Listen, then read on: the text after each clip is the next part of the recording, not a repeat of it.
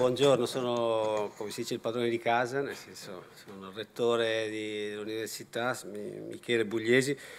Per una volta non è, abbastanza raro, io introduco molti eventi, molti, la maggior parte dei quali non, non conosco nei contenuti, qui eh, ho il piacere di, di introdurre una, dei lavori su un argomento di cui mi occupo anche nella, nella mia vita precedente di professore, di eh, ricercatore. Eh, sono un informatico e l'evento è uh, Cyber Security Last Call.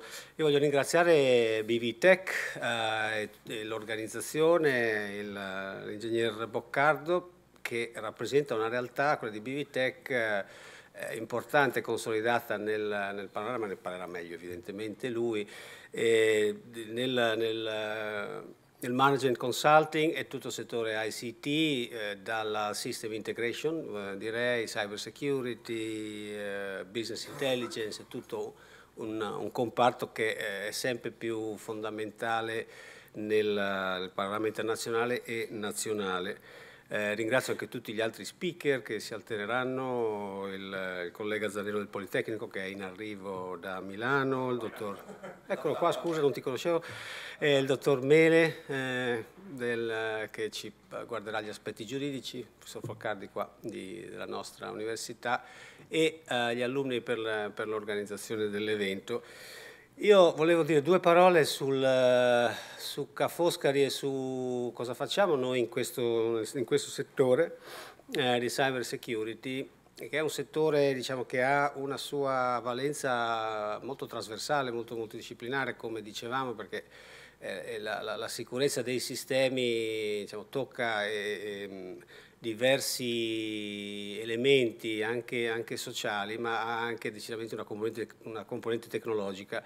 Ora, di, di, questa componente Ca' Foscari eh, si occupa da, da, da, molti anni, da 15 anni e più è strutturato un piccolo grande gruppo direi di, di ricerca, piccolo dimensionalmente ma eh, grande nei, nei risultati di cosa ci occupiamo? Ci occupiamo di uno spreto di, mm, di tematiche che vanno da, tradizionalmente diciamo, dai, dai, protocolli di sicurezza, eh, le APIs, eh, eh, in particolare le APIs legate ai moduli hardware, ai security tokens, eh, per i quali abbiamo sviluppato, con il professor Focardo in particolare, tecniche di model checking per, per analisi, sono sistemi a stati finiti pur complessi ma per i quali è possibile fare un'analisi automatica dei, ehm, della, della, sicurezza nelle, nelle, interazioni e per i quali è possibile diciamo, dare certificazioni. E lo abbiamo fatto con un certo successo eh, sia dando certificazioni sia rilevando criticità in molti devo dire, dei sistemi, alcuni dei quali possiamo rivelarli, altri meno, però diciamo, abbiamo informato tutti i produttori con risultati che sono stati recepiti in modo importante nei migliori forum, eh, più importanti forum internazionali accademici e, e, e non. Eh, ci occupiamo di web security sul lato client, uh, uh, negli ultimi anni eh, ultimamente anche sul lato server diciamo, è più difficile in qualche misura convincere chi produce ed è più ehm, perché c'è un problema di legacy enorme no? per cui diciamo, il primo tentativo cioè i primi tentativi li abbiamo fatto stato server poi abbiamo realizzato eh, diciamo, che quantomeno un minimo livello di protezione si può eh, ottenere cioè un minimo, si può ottenere un, un discreto livello di protezione anche sul lato client abbiamo sviluppato tutta una serie di di metodi e anche di, di prototipi per, pro, per, proteggere le sessioni di, di sicurezza in sistemi, cioè rilevando anche una serie di, eh, di voragini più che buchi nel, in sistemi esistenti, nei protocolli esistenti che si basino su cookies o, o altri sistemi più, più, più, apparentemente più solidi. Facciamo tutte queste, poi eh, ci occupiamo anche di cloud evidentemente per gli aspetti di privacy anche legati alla, alla privacy del cittadino, del, del singolo, banche dati, eh, sia nell'analisi statistiche sia nel, nelle, nelle, informazioni che possono essere rilasciate in modo inavvertito diciamo, per, per, per, intrusioni inattese. Lo facciamo diciamo, all'interno dei laboratori eh, di, di, ricerca nel, sul lato della formazione in partnership con, con partnership eh, eh, diverse accademiche secondo i canoni classici dell'accademia, dell quindi nei progetti internazionali, e alcune eh, partnership diciamo, anche sul lato eh, della, ehm, del trasferimento tecnologico e siamo in partnership in particolare con, con l'IRIA eh, e con una spin-off CryptoSense che si occupa, cioè, ha diciamo, eh, reso, portato su un processo, come processo industriale alcuni risultati della ricerca sulla, sull'analisi automatica dei, dei, dei, token, dei security modules e dei security tokens e poi ha esteso questo ad altri, ad altri ambiti, sempre fondato su um, tecniche di model checking. Siamo parte del progetto Filiera Sicura con uh, Cisco e Leonardo come partners uh, industriali e con Sapienza Politecnico di Milano, Torino, Napoli, Genova, Trento, Venezia e Lucca. Eh, all'interno cioè, quel progetto che eh, diciamo, forse la, adesso, con tutte le imperfezioni di cui ci parlerà mm, l'ingegnere Boccardo del, del sistema di sicurezza nazionale devo dire, negli ultimi anni c'è stato quantomeno un, un moto di consapevolezza del, dell'importanza con un input forte anche governativo. Il progetto eh, Filiera Sicura è eh, promosso dalla Presidenza del Consiglio, Dipartimento di, dell'Intelligence, della Sicurezza, che afferisce direttamente alla Presidenza del Consiglio e eh, è un progetto che coinvolge per appunto partner importanti e tutto il sistema nazionale, in particolare il CINI Cyber Security Lab, che è il consorzio italiano delle, dei... Uh, dei laboratori di informatica presso, presso le università. E abbiamo poi i um, rapporti consolidati con, uh, con, la sezione Isacca, che è rappresentata qui, eh, nel chapter veneziano, ma più in, uh, più in, in, in largo il, tutta l'associazione, e poi altri, altre partnership diciamo, accademiche forse più, più puntuali, più, più consolidate, anche perché abbiamo nostri ex studenti o colleghi a, a Vienna, un nostro uh, dottorando di, di Riccardo, eh, adesso è lì alla Technical University of Vienna, un gruppo molto importante, la stessa cosa a Southampton, col Cyber Security eh, Group a Southampton e, e, varie altre. Sono tante iniziative, le facciamo anche sul lato della formazione, si diceva prima quanto è importante. E, ehm, attivare anche la consapevolezza dell'importanza del tema e la preparazione dei ragazzi. Qui abbiamo un gruppo che è stato anche qui, mh, abbiamo una filiera delle, di, di, di, formazione che ha eh, i programmi di informatica triennali, magistrali, magistrali e, e, dottorali, all'interno dei quali si sviluppa un percorso articolato di, di cyber security diverse, sia sul lato della crittografia sia sul lato del eh, dei sistemi, quindi anche del, di tutti gli aspetti, diciamo che, che una, una, buona parte degli aspetti, e eh, con eh, un tipo di formazione che sia diciamo, accademica classica e sia eh, è una parte importante anche perché raccoglie l'interesse entusiasta del, del, dei ragazzi eh, di laboratorio e di, di sperimentazione delle tecniche attraverso anche attività di ethical hacking.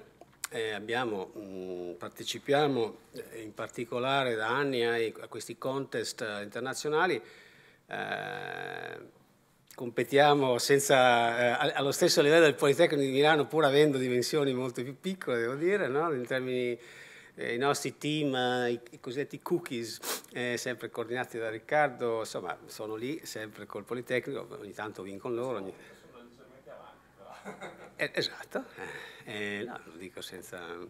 E, eh, la, la, da due anni, questa è la seconda edizione del Cyber Challenge che viene organizzato sempre dal Cini, ehm, che è una, diciamo, un, un, contest rivolto ai ragazzi da 16 a 22 anni, che è esattamente lo scopo di, eh, di attivare la consapevolezza presso i giovani e poi di istruirli e per eh, affrontare diciamo, le, queste tematiche.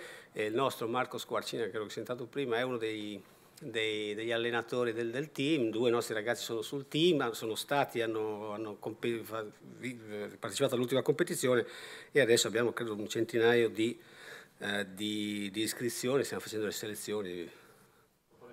Ok, sì. In Italia. Eh, non so se abbiamo, dopo, beh, siamo anche alla ricerca di chi voglia partecipare come partner, eh, quindi siete eh, diciamo, benvenuti, penso sia una cosa decisamente importante.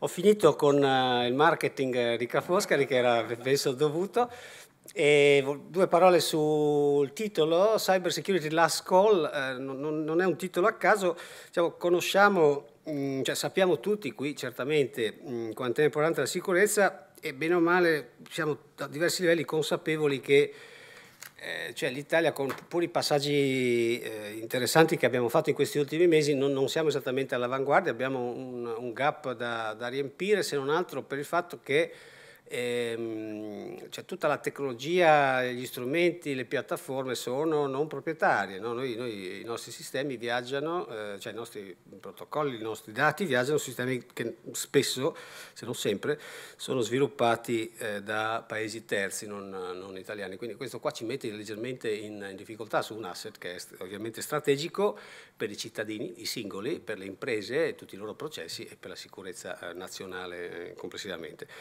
Quindi abbiamo un problema in qualche misura eh, e sostanzialmente eh, il titolo riferisce a questo problema, è un problema che possiamo risolvere, lo possiamo fare una, con una nuova, eh, più, più, convinta strategia di partnership tra eh, le accademie i processi di ricerca e di formazione che noi conduciamo e eh, i soggetti eh, interessati e capaci di, di sviluppare le, le piattaforme come eh, l'ospite che abbiamo qui oggi.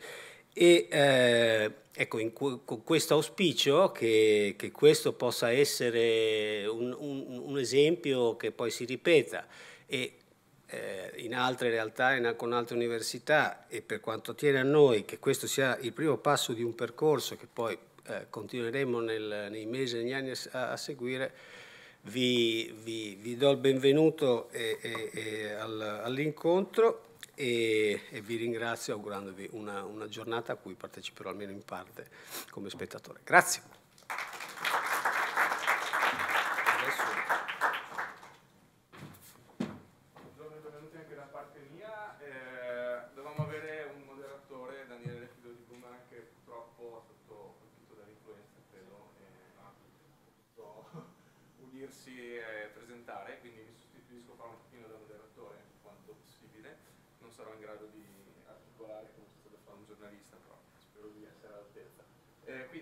Subito la parola a Raffaele Boccardo, che ringrazio anch'io per eh, diciamo, aver immaginato questo, questo, evento su una tematica così importante, presidente CEO di Bivitech.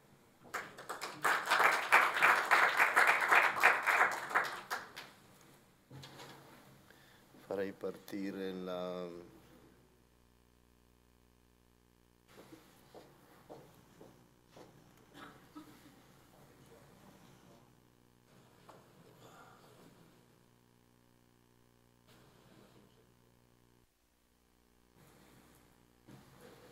Eccoci. Buongiorno a tutti, eh, un ringraziamento eh, a, agli alunni di Ca' Foscari che ci hanno dato la possibilità di organizzare questa, questo convegno e un sincero ringraziamento al magnifico rettore che ha voluto introdurre l'argomento con questa sua eh, eh, chiamata alla, alla, alla ricostruzione di una nazione che abbia eh, processi, procedure, strumenti nazionali propri in un momento dove è così cruciale dotarsi di difese e sistemi di rimedio e di governo in senso generale della sicurezza delle informazioni. Io cercherò di introdurre una parte del ragionamento che è quella eh, cosa, eh, cosa comporta un dominio digitale così eh, eh, così fantasticamente aperto come lo stiamo vivendo eh, rispetto a sue vulnerabilità intrinseche che da un lato appunto ci consentono di lavorare eh, come se fossimo nella stanza accanto con ogni eh, paese del mondo e dall'altro ci espongono a dei rischi specifici. Eh, questa è il, la scaletta che vorrei seguire. Ehm, terrei che alla fine di questo mio brevissimo intervento ci fossero alcuni concetti che rimangono con noi per sempre e, e sono concetti semplici, riguardano da un lato la presa di coscienza che questo tema di rincorsa della eh, eh, opportunità rischio sui sistemi elettronici starà con noi per 50-70 anni e dall'altro se noi non ci dotiamo di capacità nazionali rischiamo di mettere a repentaglio la, la, la potenza della nostra nazione a, a 20-30 anni da adesso in senso assoluto. Eh, non siamo in, una, in, un dipartimento di ingegneria, tenevo che fosse molto chiaro a tutti noi, prima di partire con i ragionamenti, che cosa fosse questo cyberspazio. Cyberspazio sono l'insieme dei, dei, calcolatori, dei sistemi operativi che fanno funzionare i calcolatori, delle reti che collegano i calcolatori e delle reti delle reti di calcolatori che sono connesse tra di loro, dei dati e delle informazioni che sono contenute in questi sistemi elettronici, hardware e software. Da, da molti anni ci si rende conto che la tecnologia elettronica rende possibile l'impossibile, dall'altro ci espone a rischi drammatici. Una... Rimarrà a disposizione degli interessati la, la nostra presentazione eh, perché eh, no, non seguirò pedissequamente eh, i contenuti, ma mi fa piacere che esista un discorso diciamo, completo eh, per chi volesse poi fare ulteriori approfondimenti. Quindi questo è il cyberspazio, come si sono evolute le, le tecnologie. Questa è ancora, eh, la legge di Moore che vedete è ancora valida adesso ed è dal 65, quindi cosa sono? Eh, oltre 50 anni, vale sia per eh, l'hardware che per il software. La prestazione ogni 18 mesi raddoppia e la dimensione eh, diventa la metà. Quindi una delle dei principi su cui si è basato gli ultimi 50 anni di storia dell'elettronica è stato avere tutto miniaturizzato e sempre più potente. Non si è pensato ad avere l'elettronica intrinsecamente sicura.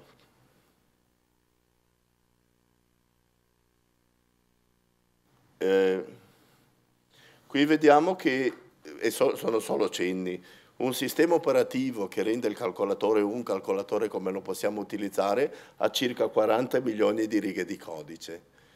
E una misura empirica del numero di errori presenti nel codice è un errore ogni mille eh, linee.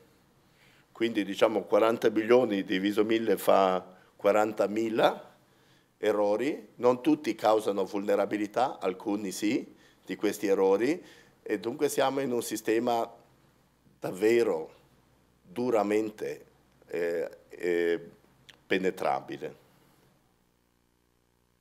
Questo è un richiamo di una persona che è una fantastica persona, Weinberg, uno dei fondatori dell'IEEE, dice se i nostri ingegneri civili costruissero i ponti e le città, così come i nostri ingegneri del software costruiscono il software, basterebbe un picchio che arriva e distruggerebbe l'intera civiltà, per dare un'idea di quanto è vulnerabile un sistema elettronico. E ora i grandi del mondo stanno lavorando, non vogliamo stare così per l'eternità, per rendere questi sistemi intrinsecamente sicuri, la stima è eh, 20 anni, no, ovviamente sono stime che fanno i grandi leader e scienziati del mondo, con le grandi università del mondo. E il tema è che se lo risolviamo tra 20-30 anni, di avere macchine che controllano da se stesse di essere sicure, dopo il porting di tutti i sistemi, di tutte le applicazioni e di tutti i, i, i sistemi di comando e controllo che sono nel mondo prenderà un altro tempo importante. Quindi si immagina che questa storia di inseguimento tra patch e vulnerabilità sia una storia che starà con noi per 50-70 anni. Ed è per questo, come ci ha richiamato il magnifico rettore di Ca' Foscari, che gli stati, istituzioni, università, imprese insieme devono darsi una linea di eh, diciamo, formazione da un lato e di presa in carico di una coscienza tecnologica importante per fare il massimo che si può. Questo è una, diciamo, è, è cosa dice l'MIT, un consorzio eh, di computer science and artificial intelligence di MIT e dice eh, dobbiamo fare meglio di questo patch and pray perimeter protection. Tutto quello che facciamo e c'è una vulnerabilità, la inseguiamo, cerchiamo di metterla a posto e dopo preghiamo che la successiva arrivi più tardi possibile. Ma queste vulnerabilità vengono scoperte con una, con una logica e una cadenza sempre più eh, eh, importante e quindi questo patch and pray perimeter protection strategy is not the right one. Semplicemente non è la strategia che noi possiamo adottare. Dobbiamo trovare calcolatori intrinsecamente sicuri, ma nel mentre c'è questo programma di 50-70 anni dove ci si deve difendere. Ora, per difenderci servono processi, procedure, strumenti. Ne abbiamo sentito parlare. Il controllo della sicurezza delle informazioni non lo possiamo fare cartaceo. E gli strumenti che adottiamo in gran parte nella nostra nazione sono strumenti realizzati da stati terzi. E qui c'è una riflessione primaria. Se noi lasciamo il controllo delle chiavi del nostro palazzo a stati terzi, qualora il cyber war ci fosse, ci viene possibile questa riflessione, dice funzioneranno sempre questi controlli di perimetro con software che ci sono stati dati da stati che magari sono in cyber war con noi, è probabile di no. Eh, il rischio cyber, siamo, un'altra, un attenzione ha, a, a, cui ci ha richiamato il magnifico rettore è questa, eh, se ne parlava anche prima, quanto è il rischio eh, economico da attacco cyber medio per azienda? Ora, le medie, invece questa la sensibilità ce l'abbiamo, chi mangia due polli, chi mangia zero si mangia tutti un pollo, giusto? Quindi sono cose che poi vanno interpretate, però sono numeri, sono numeri importanti. E vedete che nel 17 la stima è di quasi 12 milioni medi per azienda, il rischio, di, eh, il rischio economico per azienda. E questo su tutte le aziende del mondo. Vediamo sull'Italia e dopo sarà circa 6-7 milioni, però è un rischio importante, è un rischio veramente importante. Abbiamo nella percezione che ci sia questo rischio come cittadini, come signori che lavorano nelle istituzioni, nelle università, nelle imprese, spesso eh, non mi pare che ci sia questa coscienza di quanto sia drammatico il rischio, sia economico e vedremo dopo, sia sociale, civile e politico, eh, di eh, quello che invece pensiamo come signori che lavorano in questo settore è veramente. Andremo velocemente, non ci sono settori che non sono eh, eh toccati quindi dice sì, è una cosa che riguarda le aziende dell'energia, le banche e i, signori del trasporto, ma non riguarda l'agricoltura o l'acqua. Non è vero, non esiste settore che è indenne da attacchi ciber, cibernetici eh, con diversa natura di eh, ehm, ragioni per le quali si fanno queste cose, ma non esiste, così come non esiste azienda che non è stata toccata da diciamo, un attacco diciamo, conosciuto o meno. Eh, penso che in questa sede tutti sappiamo che le aziende che pensano eh, di non essere mai state attaccate sono semplicemente aziende che non se ne sono ancora accorte, giusto? Questo lo sappiamo. Se c'è qualcuno che ha, dub ha dubbio rispetto a questa formazione, se mi alza la mano sarei felice perché il, come sappiamo gli attacchi intanto si vedono solo quelli che l'attaccante decide di farsi vedere, gli attacchi stanno con noi per anni, possono anche rimanere silenti per sempre, si attivano quando si decide di attivarli. È un tema veramente serio, è un tema di, eh, di sviluppare una coscienza della situazione e poi fare in modo che eh, capacità, formazione, strumenti e intenzioni del nostro Paese concorrano a diventare più forti di quello che siamo oggi. Bene, ve lo, ve lo studiate, diciamo, l'impatto in questo periodo 14-16 è un impatto importante sul sistema Italia, 9 miliardi di dollari.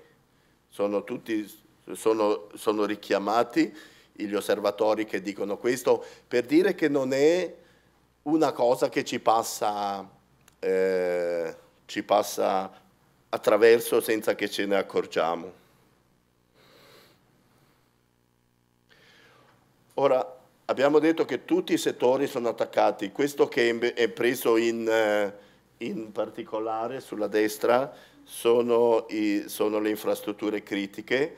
Andremo a vedere perché le infrastrutture critiche sono un obiettivo importante degli attacchi cyber e, eh, e i possibili enormi danni ai, alla, alla, alla popolazione che possono determinare. E il tema delle infrastrutture critiche è il tema che, che, ha fatto nascere la direttiva europea di cui si parlerà all'interno di questo convegno che sarà presentata eh, tra poco, mi faceva piacere condividere perché c'è questa esigenza e perché l'infrastruttura critica è così esposta alla possibilità di attacco cyber. Diciamo, il cybercrime, che è una grande parte del, della, delle ragioni di attacco, è il luogo dove non facciamo fatica a pensare si svolga oggi oltre l'80% dell'attività criminale del mondo. Quindi diciamo che se un signore eh, fa parte delle so, quattro forze dell'ordine, polizia, carabinieri, vigili del fuoco e finanza, certamente ha un reparto tradizionale e sta pensando come organizzarsi, lo sta pensando da dieci anni, ha già fatto dei passi da gigante, per avere una polizia cyber, il mondo dei carabinieri cyber, il mondo della finanza cyber, perché diciamo, l'attività criminale svolta sistematicamente e drammaticamente all'interno di questo dominio che diciamo, come vedremo è riconosciuto essere il quinto dominio della conflittualità anche come eh, possibilità di avere una nuova strategia di guerra tra i popoli. Quindi terra, aria, mare, spazio, cyber. Adesso non esiste Stato maggiore dei principali eh, stati del mondo che non abbia questo, questo reparto. E il dominio cyber è un dominio nuovo, nuovo se parliamo degli ultimi 15 eh, anni, eh, è un dominio drammaticamente pericoloso perché il costo di un'operazione di guerra è, infinit è, è, è infinitamente meno costoso di una qualunque altra storica operazione di guerra. Si può far saltare una centrale nucleare con poco, da un punto di vista economico. Ha una capacità di determinare cose nuove che eh, è stata eh, eh, che non abbiamo avuto prima e risale a, al 2000 quindi a circa oltre 15 anni fa, il momento in cui due colonnelli della, della, de, diciamo del, dell'esercito dello Stato Maggiore insomma, della Cina hanno, hanno, codificato in un libro la possibilità di attaccare gli Stati Uniti con, con questi strumenti elettronici. L'idea è questa, se io comprometto un sistema energetico eh, di un paese, e questo blackout lo danneggia duramente se fermo i trasporti e, e intervengo sull'acqua potabile, metto in ginocchio un intero continente. Uh, nel 2005 eh, si prendeva atto che ci sono centinaia di migliaia di impianti visibili su internet attaccati ai quali si possono produrre danni eh, diciamo, eh, importanti e da quel momento si è cercato di lavorare per darsi una capacità di azione. Questo signore eh, che Michael Hayden è stato prima responsabile di NSA, poi è stato, non so se precedentemente al Dipartimento della Difesa e dopo è stato anche capo del CIA. Come vedete, lui dice una cosa che potremmo dire anche oggi, questo vorrei che avessimo nel cuore, diciamo, mai una cosa così importante è stata affrontata, mai si è parlato di una cosa così importante in un modo così confuso come stiamo facendo con questi argomenti eh, noi. E lo diceva dieci anni fa, se voi lo sentite parlare adesso, eh, dice la stessa cosa. Quindi lo, quindi è un tema, è un tema serio. A distanza di dieci anni da, dal momento in cui gli americani hanno cercato di prendere le misure su, una, su un nuovo dominio che così bene loro hanno determinato e dopo non conoscevano come proteggersi, eh, il tema è ne parliamo nonostante così drammaticamente importante in un modo così confuso come mai abbiamo parlato di argomenti eh, è, è una chiamata alle armi, è veramente una chiamata al fare ordine nei nostri pensieri. Tutti si parlano e qui voglio fare una battuta. Eh, eh, Cina e USA si parlano non già sul fatto di non avere gli uni gli altri tutte le informazioni che riguardano lo Stato rispettivo. Quindi non si discute se l'USA conosce già i segreti della Cina e la Cina conoscono i segreti degli Stati Uniti, ma si parlano per regolare l'utilizzo delle informazioni, cioè gli, gli stati si parlano per codificare che le informazioni che sono state raccolte sull'altare della, diciamo, della libertà degli stati eh, non vengono usate per motivi ad esempio di spionaggio, di concorrenza tra le industrie. Quindi gli Stati Uniti dice se tu Cina che conosci queste cose mi, di, delle nostre aziende, informi la tua azienda e, e dai un vantaggio competitivo, questo è un comportamento scorretto. Questa è una cosa eh, che determina il fatto che già se uno Stato non conosce cosa fanno gli altri, è in una posizione competitiva eh, difficile, se non ridicola.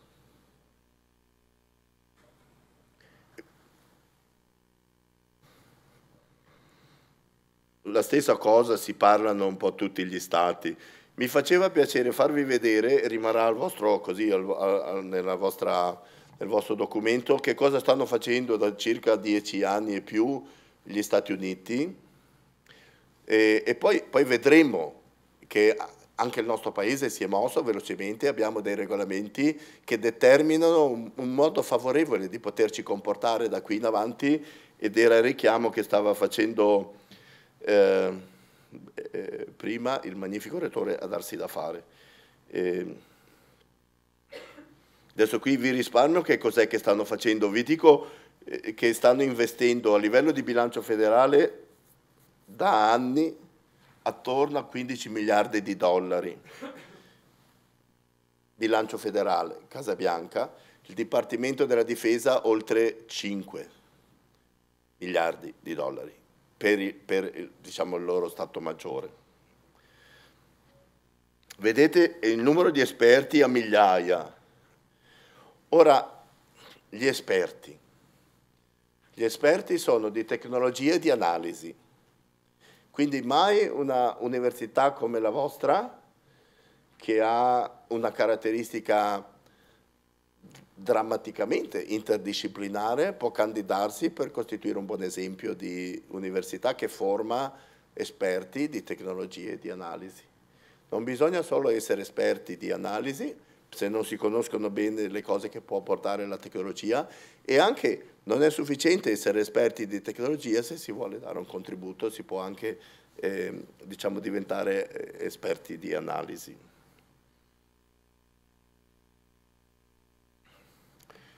Niente, queste cose loro dicono difendiamo il Dipartimento della Difesa, eh, gli interessi diciamo, del, degli Stati Uniti e affianchiamo eh, diciamo, la nostra strategia di guerra con strumenti cyber.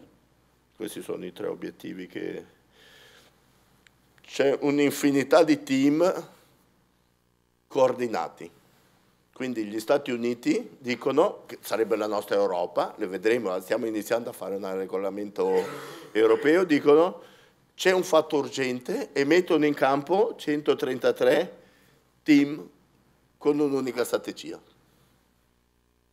per fare delle cose subito. Adesso anticipando mi permetto un pochettino, anche per darci il senso dell'urgenza che dobbiamo battere un colpo. Se noi guardiamo la nascente fantasticamente eh, concepita legge europea, adesso dico a, a, a grandi lineamenti, dice grandi stati dell'Unione Europea adottate questa direttiva in ordine alla protezione delle infrastrutture critiche da qui a un numero di anni che vi, che vi diranno e gli stati sono, hanno una loro capacità di presa in carico di questa direttiva e dopo hanno un tempo relativamente lungo per adottare questa, queste indicazioni. Supponiamo che il tempo sia dell'ordine di 7-10 anni, supponiamo. Noi pensiamo che tra 7-10 anni la guerra non sarà più cyber ma sarà biologica. E quindi diciamo, abbiamo dei reparti del mondo che sono operativi oggi per, rendersi, per avere strumenti e capacità di intervento oggi e abbiamo una zona fantasticamente eh, occidentale, abbiamo la storia del mondo che dice attrezziamoci da qui a dieci anni. Diciamo, lasciamo nei nostri cuori i ragionamenti ulteriori e io penso che ci sia lo spazio per una ricostruzione, un eh, rinascimento bottom up, diciamo dagli stati di nuovo alla comunità europea, dice guarda queste cose qua le stiamo facendo e vogliamo eh, andare avanti, vogliamo accelerare il programma. Nella nostra Europa abbiamo diversi stati e eh, ciascuno farà una strategia nazionale e, e dopo discuteremo i passi avanti che si sono fatti negli ultimi anni e quelli che saranno da fare. Per il risparmio ci sono un'infinità di agenzie e di, e di enti europei che vogliono accelerare questo processo di presa in carico di una coscienza tecnologica europea sul dominio cyber. Ve li lascio. Eh, allora, chiunque pensasse qua di poter occuparsi di tecnologia di poter fare analisi su temi che riguardano il dominio cyber senza riferirsi alle agenzie e agli attori europei e internazionali sarebbe un signore destinato ad avere delle grandi delusioni. Il tema è un tema caro al mondo, è un tema che nasce internazionale, l'information sharing tra i diversi continenti è una cosa essenziale, L'argomento è regolamento degli stati a scendere e popolazione, capacità, conoscenza che determina l'indipendenza a vent'anni degli stati che saranno stati capaci di dotarsi di strumenti nazionali. Anche la Nato dice è un dominio operativo di guerra, diciamo, c'è questa organizzazione per la eh, sicurezza. No, dunque, l'Europa da un punto di vista del digitale permette ai cittadini di, di diciamo, muoversi liberamente e non ha le polizie collegate. Questo penso che si sappia, è, è, chiaramente, è chiaramente, un fatto da, da pensare e ci sono dei signori in Europa che dicono com'è che riusciamo a collaborare sia come forze di polizia, ci sono le cose specifiche, ma sia come stati per rendere questi, diciamo, queste verifiche, questi controlli omogenei in tutti gli stati e, e per, diciamo, per, per, essere rispettati. La, la direttiva NIS attiene alla sicurezza delle infrastrutture critiche, vi sarà presentata dopo, è un grandissimo sforzo europeo fatto da diversi anni, adesso mi sembra sia entrata in approvazione e, e la dobbiamo realizzare, vediamo di che cosa si occuperà da un punto di vista del quello che andrà risolvendo.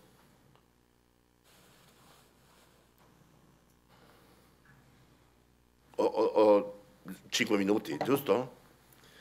Eh, ci sono un insieme di impianti che sono indirizzabili tutti sappiamo, o dovremmo sapere, che l'internet che noi pensiamo infinitamente grande e, e indirizzabile, quello che tutti guardiamo è il 4% dell'internet disponibile. Quindi c'è un, oh, sorry, un 96 che è totalmente indirizzabile, non, non, non, non usufruito e ci sono centinaia di migliaia di dispositivi di comando controllo indirizzabili e utilizzabili in modo malevolo.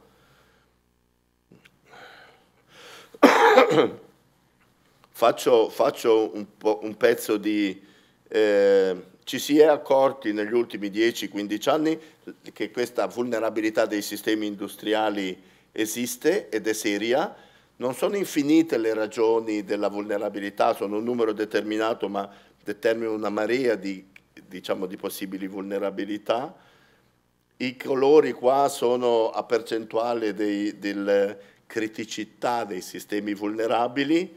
Tutte, questo è una, diciamo, un'analisi su diversi produttori di sistemi di controllo industriale. Come vedete sono molto nessuno è perfetto, ci sono criticità e vulnerabilità che sono rappresentate dal rosso e dal marrone.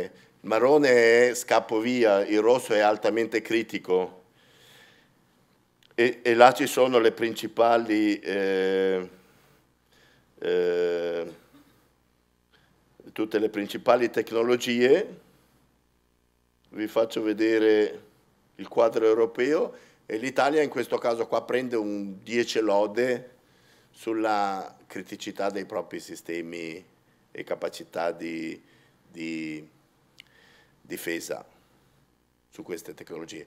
E anche gli Stati Uniti sono chiaramente altamente vulnerabili, facessimo la, sarebbero drammaticamente eh, marroni, rossi anche loro, eh, perché tutti i sistemi che sono altamente automatizzati diciamo in qualche modo sono altamente vulnerabili. Però ecco, qui abbiamo una cosa che deve richiamarci, eh, se abbiamo un pizzico di identità nazionale e un eventualmente dimenticato orgoglio, è una chiamata a riprenderci questo pizzico di orgoglio e lavorare a che questa situazione a dieci anni sia diversa.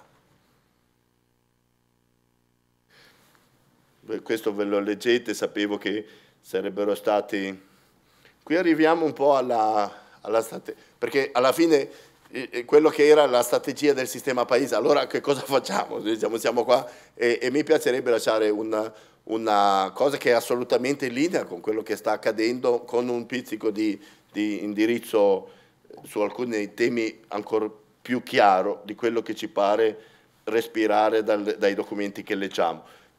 Eh, le infrastrutture critiche sono guidate da partner privati, è inevitabile che istituzioni pubbliche e partner privati collaborino.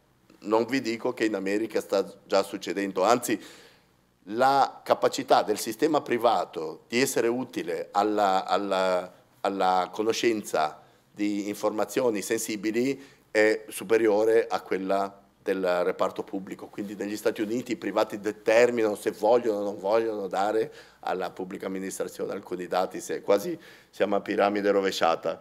C'è un partenariato da ricercare, istituzioni, eh, università, imprese, eh, si può fare un'immensità di cose e possono accadere degli incidenti, è un mercato che è un'opportunità, qui si parla sempre di occupazione e di lavoro, Diciamo, questo è un dominio dove per 30-50 anni saremo con scarsità di risorse. Quindi per i nostri giovani che studiano è certamente un dominio incredibile. Questa è la riflessione primaria prima di arrivare a che cosa fa il nostro Stato.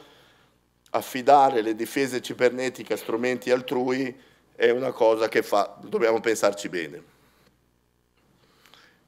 Questo ne abbiamo parlato dobbiamo eh, lavorare tra pubblico e privato, abbiamo una direttiva da seguire. In Italia è stata affidata al DIS, lo ricordavamo prima, la strategia per la, per, diciamo, la ricostruzione di, un, di, una politica eh, sulla cyber. Potremo eventualmente durante la... ho finito il mio tempo. Eh, ecco, se, se, se, vogliamo lasciarci con una, qual è la strategia del sistema paese e vogliamo richiamarci ad una, ad una emozione, questo, diciamo, si parlava di un cyber lab eh, permanente fatto con le università, eh, direi che lo scalerei ad un cyber lab fatto dei cuori di tutti i cittadini, delle istituzioni, delle imprese e delle università, che sentono questo tema come un tema eh, di eh, esistenza nazionale e collaborano anche su progetti di ricerca e sviluppo. Il titolo qua è Realizzare asset strategici nazionali. Questo ve lo leggerete. Anche noi come Bivitec lavoriamo in questo settore e cerchiamo di essere diligenti. Lavoriamo a strumenti e cerchiamo di essere sempre in contatto con le istituzioni e con le università per scambiare esperienze e condividere progetti di ricerca e sviluppo. I progetti di ricerca e sviluppo che, servono, che serve avviare sono progetti di una dimensione importante.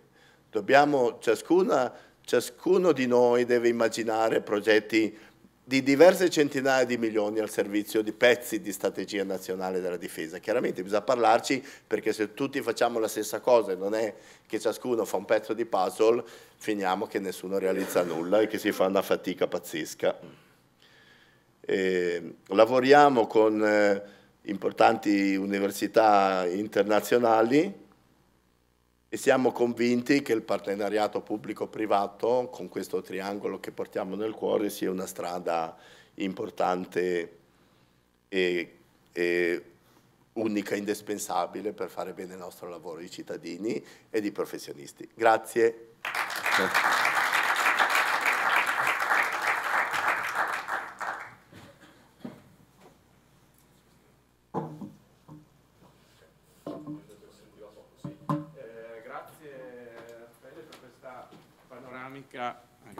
Estremamente interessante, eh, diciamo eh, che ci dà, ci dà un, po', un po' ci spaventa, nel senso che giustamente ci, ci, ci, fa vedere che i problemi cyber in realtà non sono solamente i problemi eh, de, dell'azienda, dell'attacco locale che può, può, creare un danno, certo economico, ma magari eh, su una, su una realtà particolare, parliamo di problemi che possono arrivare a livello nazionale, a livello internazionale, problemi economici, tra l'altro mi è piaciuto molto lo spunto sulla parte di eh, spionaggio industriale, che poi alla fine diventa anche un problema politico, perché diciamo, le nazioni devono cominciare a capire come gestire questa enorme eh, disponibilità di informazioni più o meno lecita, diciamo così, ma comunque che c'è, eh, a livello politico per regolamentarla, perché se no non si capisce più se quella è già eh, cyber war, perché alla fin fine se io metto in ginocchio una grossa azienda eh, americana o cinese, comunque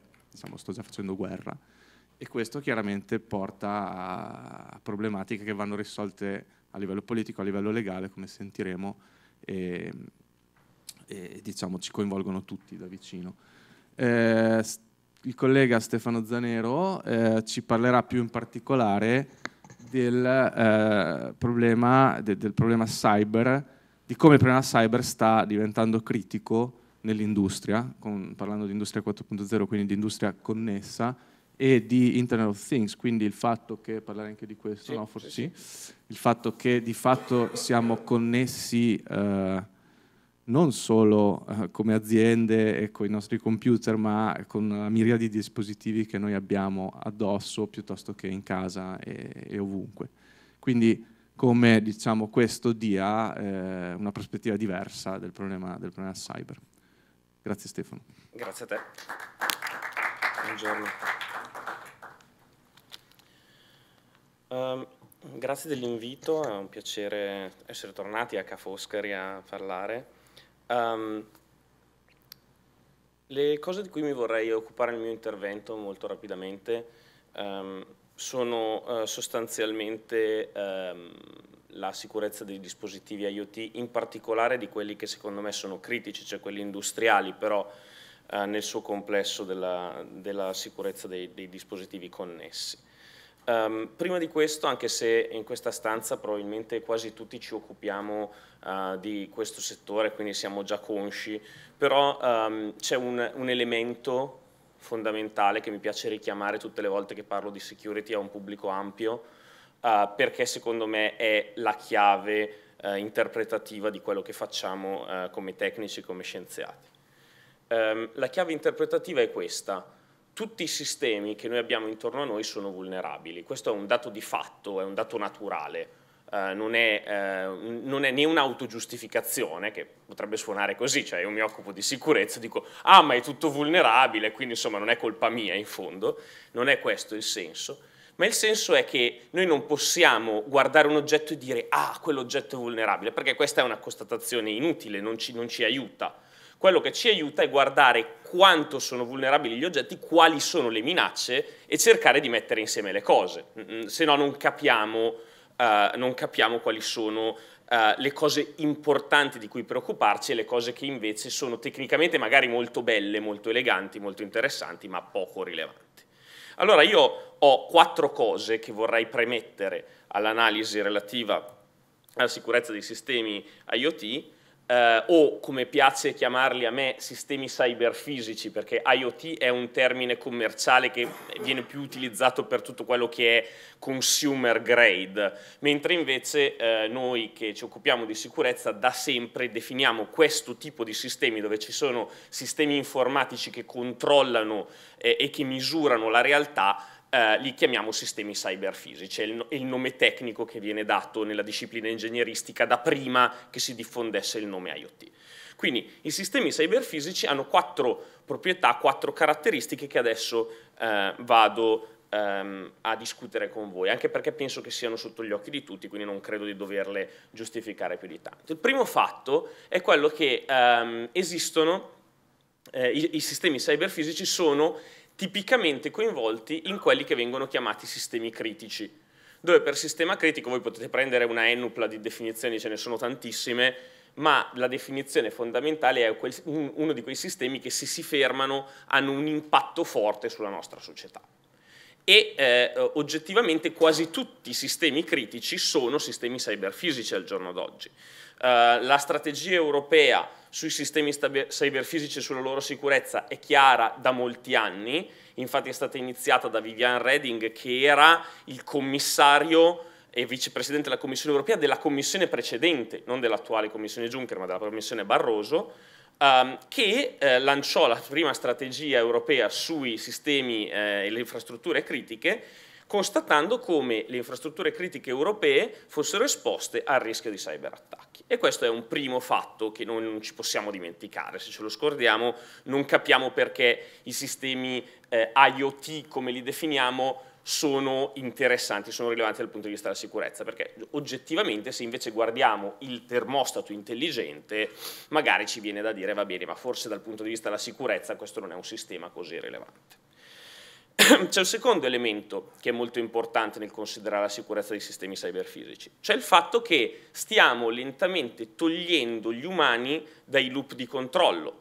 Questo che vedete lì dietro è un film che, diciamo, per la metà dell'audience che è della mia età e più anziana è un film famoso, per quelli più giovani è un film che non avete visto, eh, sono le immagini di War Games, che è, ha la distinzione di essere il primo film famoso in cui si eh, vedessero delle scene di hacking. Um, e per chi, eh, per chi l'ha visto si ricorderà che l'elemento fondamentale attorno a cui gira il film è, eh, è, proprio il fatto della decisione di porre un computer senza una supervisione umana in controllo degli armamenti nucleari. E quello è l'elemento eh, scatenante della storia del film. Quello era un film.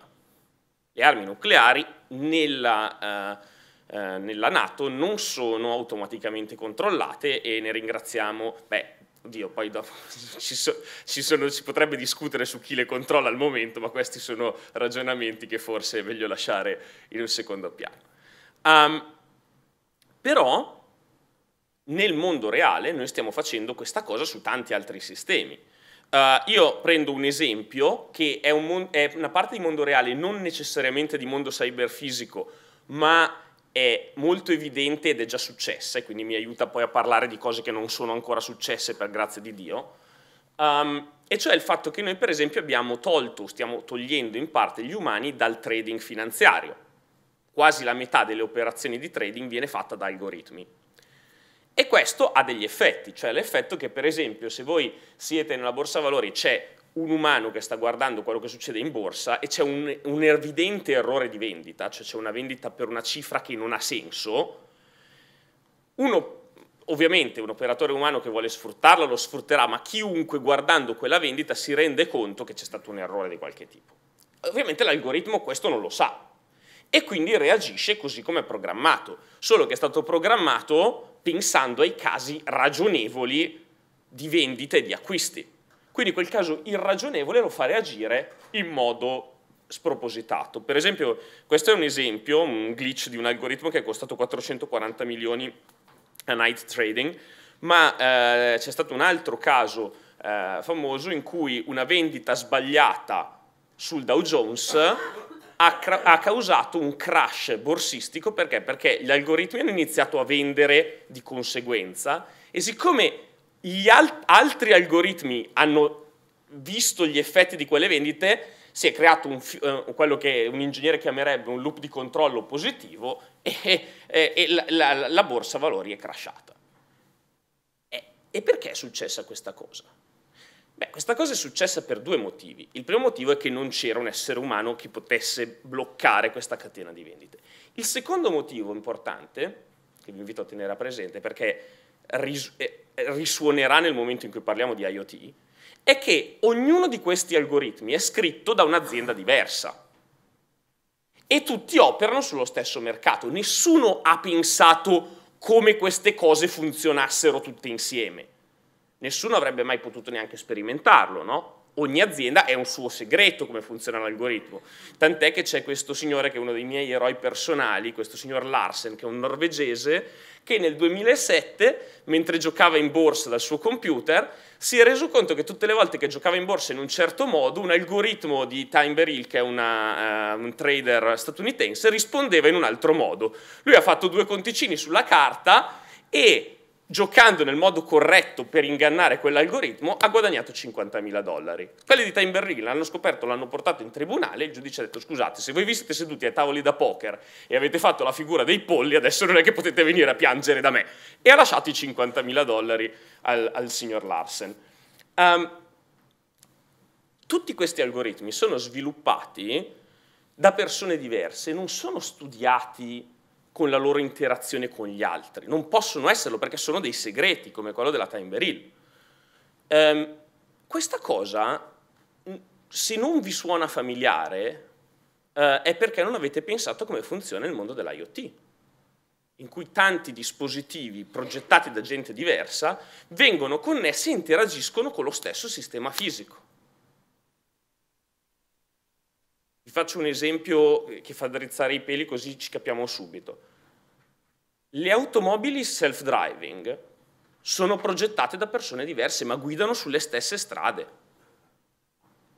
Se noi non troviamo un modo per verificare come interagiscono tra di loro, lo verifichiamo guardando che cosa succede sulla strada. Cioè, nel mondo IoT e per quel che riguarda i veicoli probabilmente arriveremo a definire uno standard, ma per tutte le altre cose IoT magari no. E questo ci porta al tema della complessità delle reti. Quello che vedete lì è una schermata presa da uno dei portali dell'IEEE, che è l'Istituto degli Ingegneri Elettrici ed Elettronici. Um, questo è il portale sulla smart grid, smartgrid.ieEE.org. E quel portale, quei numerelli che vedete, sono il numero di articoli scientifici usciti nell'ultimo mese sulle riviste, sulle conferenze di Tripoli, per ognuna di quei settori del mercato della griglia dell'energia. Voi capite che se escono centinaia di nuovi studi, nuovi protocolli, nuovi algoritmi ogni mese, che vanno a inserirsi in alcuni dei pezzi di questo sistema, che è un sistema non, non letteralmente globale, perché le reti di distribuzione dell'energia sono continentali ovviamente, ma quantomeno continentale, e, e noi abbiamo un piccolo problema se d'altro canto dobbiamo capire come interagiscono tra di loro queste cose.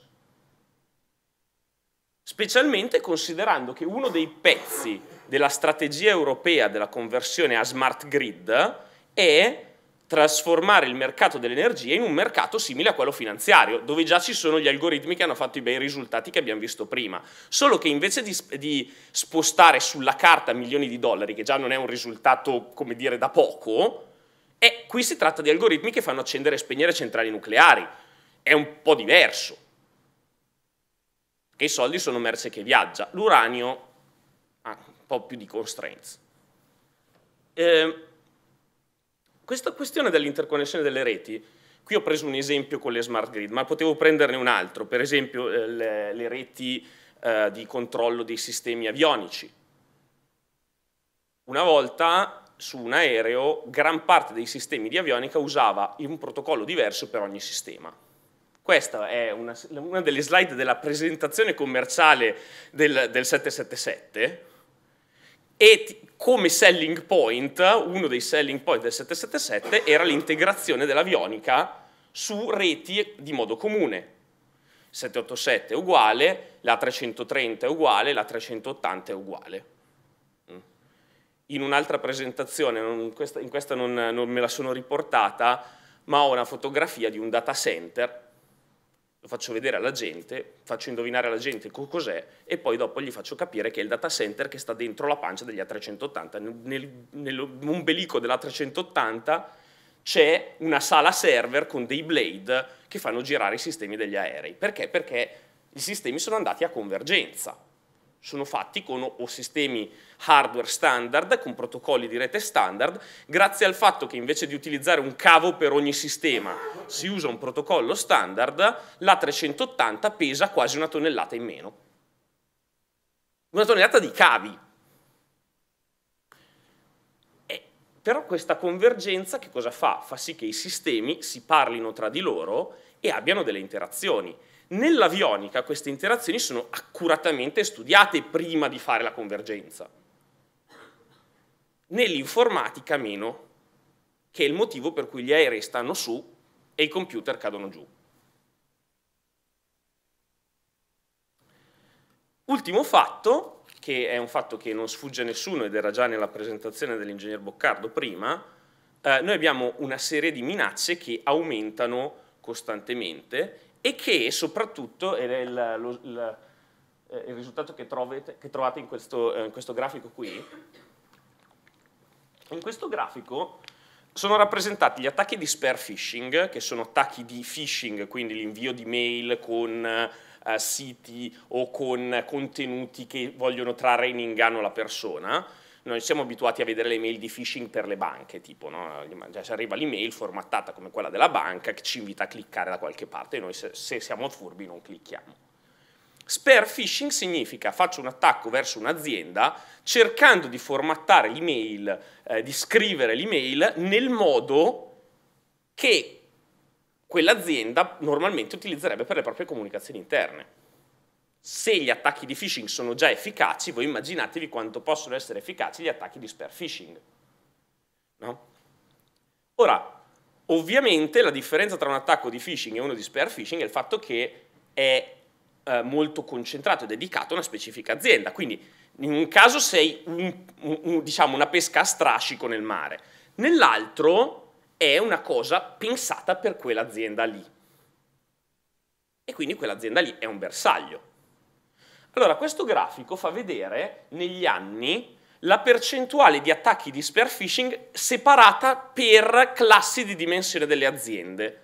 E quello che si nota, non, qui eh, ovviamente è sempre fatto 100 il totale, quindi non si vede la quantità di attacchi di spear phishing, ma quello che si vede, quella la potete vedere di là, ma quello che si vede da questo grafico è il fatto che gli attacchi di spear phishing sono, colpiscono sempre realtà più piccole. Cioè gli aggressori hanno una barra per definire dove è l'interesse che continua a spostarsi verso il basso. E questa è una cosa rilevantissima per l'Italia, perché ovviamente il nostro tessuto industriale fatto di piccole e medie imprese fino ad adesso è stato un po' protetto dagli attacchi targeted, non, non, non veramente, eh, però un pochino sì. Ma questa protezione è mh, in via di, di scomparsa, cioè ormai anche le aziende piccole e medie sono oggetto di attacchi targeted e sono oggetto di sottrazione di dati. Sottrazione di dati che poi si concretizza ehm, anche in risultati interessanti, eh, questo qui per esempio è uno degli esempi che mi piace di più, eh, quello sopra è eh, il caccia cinese J20 eh, che è stato sviluppato, ha fatto il primo volo se non mi ricordo male nel 2010, quello sotto è il prototipo dell'F-35, quello che si chiamava YF-23 della, della Northrop. E questi, io, non, io, sono un ingegnere, ma un ingegnere del tipo sbagliato, perché non sono un ingegnere aerospaziale, ma i colleghi aerospaziali mi dicono che il piano di coda dell'F-35, del YF-23, non è una configurazione di coda così logica, cioè è una configurazione di coda molto particolare. Il fatto che questi due aerei abbiano esattamente lo stesso piano di coda è un mistero della fede, è una cosa, una cosa inspiegabile. Uh, se non per il fatto che la Northrop è stata una delle prime aziende bersagliate da quelle che poi negli anni noi avremmo chiamato eh, Advanced Persistent Threat, cioè gruppi di hacking organizzato, probabilmente state sponsored, e il primo IPT era probabilmente cinese, adesso invece abbiamo gli IPT russi che fanno il bello e il cattivo tempo, eh, però mh, diciamo al tempo erano i, cinesi. E questa è una cosa, è l'evidenza plateale fatta aereo del fatto che ci sono campagne di raccolta di informazioni. Vi risparmio poi tutti i discorsi um, sull'utilizzo di uh, cyber weapons per uh, sistemi critici, tipo per esempio Stuxnet, la slide ho, uh, su cui ho scivolato, perché probabilmente quello è un esempio che quasi tutti conoscono, eh, di malware specificamente progettato per sabotare impianti industriali. E la cosa um, spettacolare chi, per chi studia il malware come me, guardando Stuxnet, è il fatto che questo malware è stato progettato per decifrarsi solo su uno specifico sistema di Siemens, cioè su un, su un, computer dotato di una specifica scheda prodotta da Siemens, che serve per controllare solo uno specifico dispositivo, che sono delle centrifughe, che viene usato per separare l'uranio solo da uno specifico paese che è l'Iran. Cioè un'arma più progettata e più targeted di così, non solo targeted, ma fatta in modo tale che nemmeno per sbaglio possa danneggiare nient'altro che quello specifico sistema lì. Perché solo per quello specifico sistema lì si attiva il suo payload. Una, una cosa eh, una cosa meravigliosa, cioè da, da, romanzo di fantascienza invece ce la siamo vista capitare sul tavolo.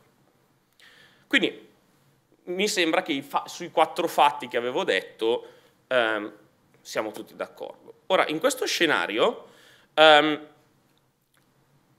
andiamo a vedere l'introduzione non solo nella, nella, nostra, eh, nella nostra realtà più macroscopica, ma anche proprio nella nostra vita quotidiana, di quella che viene chiamata Internet of Things, cioè reti di oggetti intelligenti, dotati di capacità computazionale, eh, connessi tra di loro che scambiano dati, che scambiano dati al fine di, avere, eh, di, di fornirci dei servizi.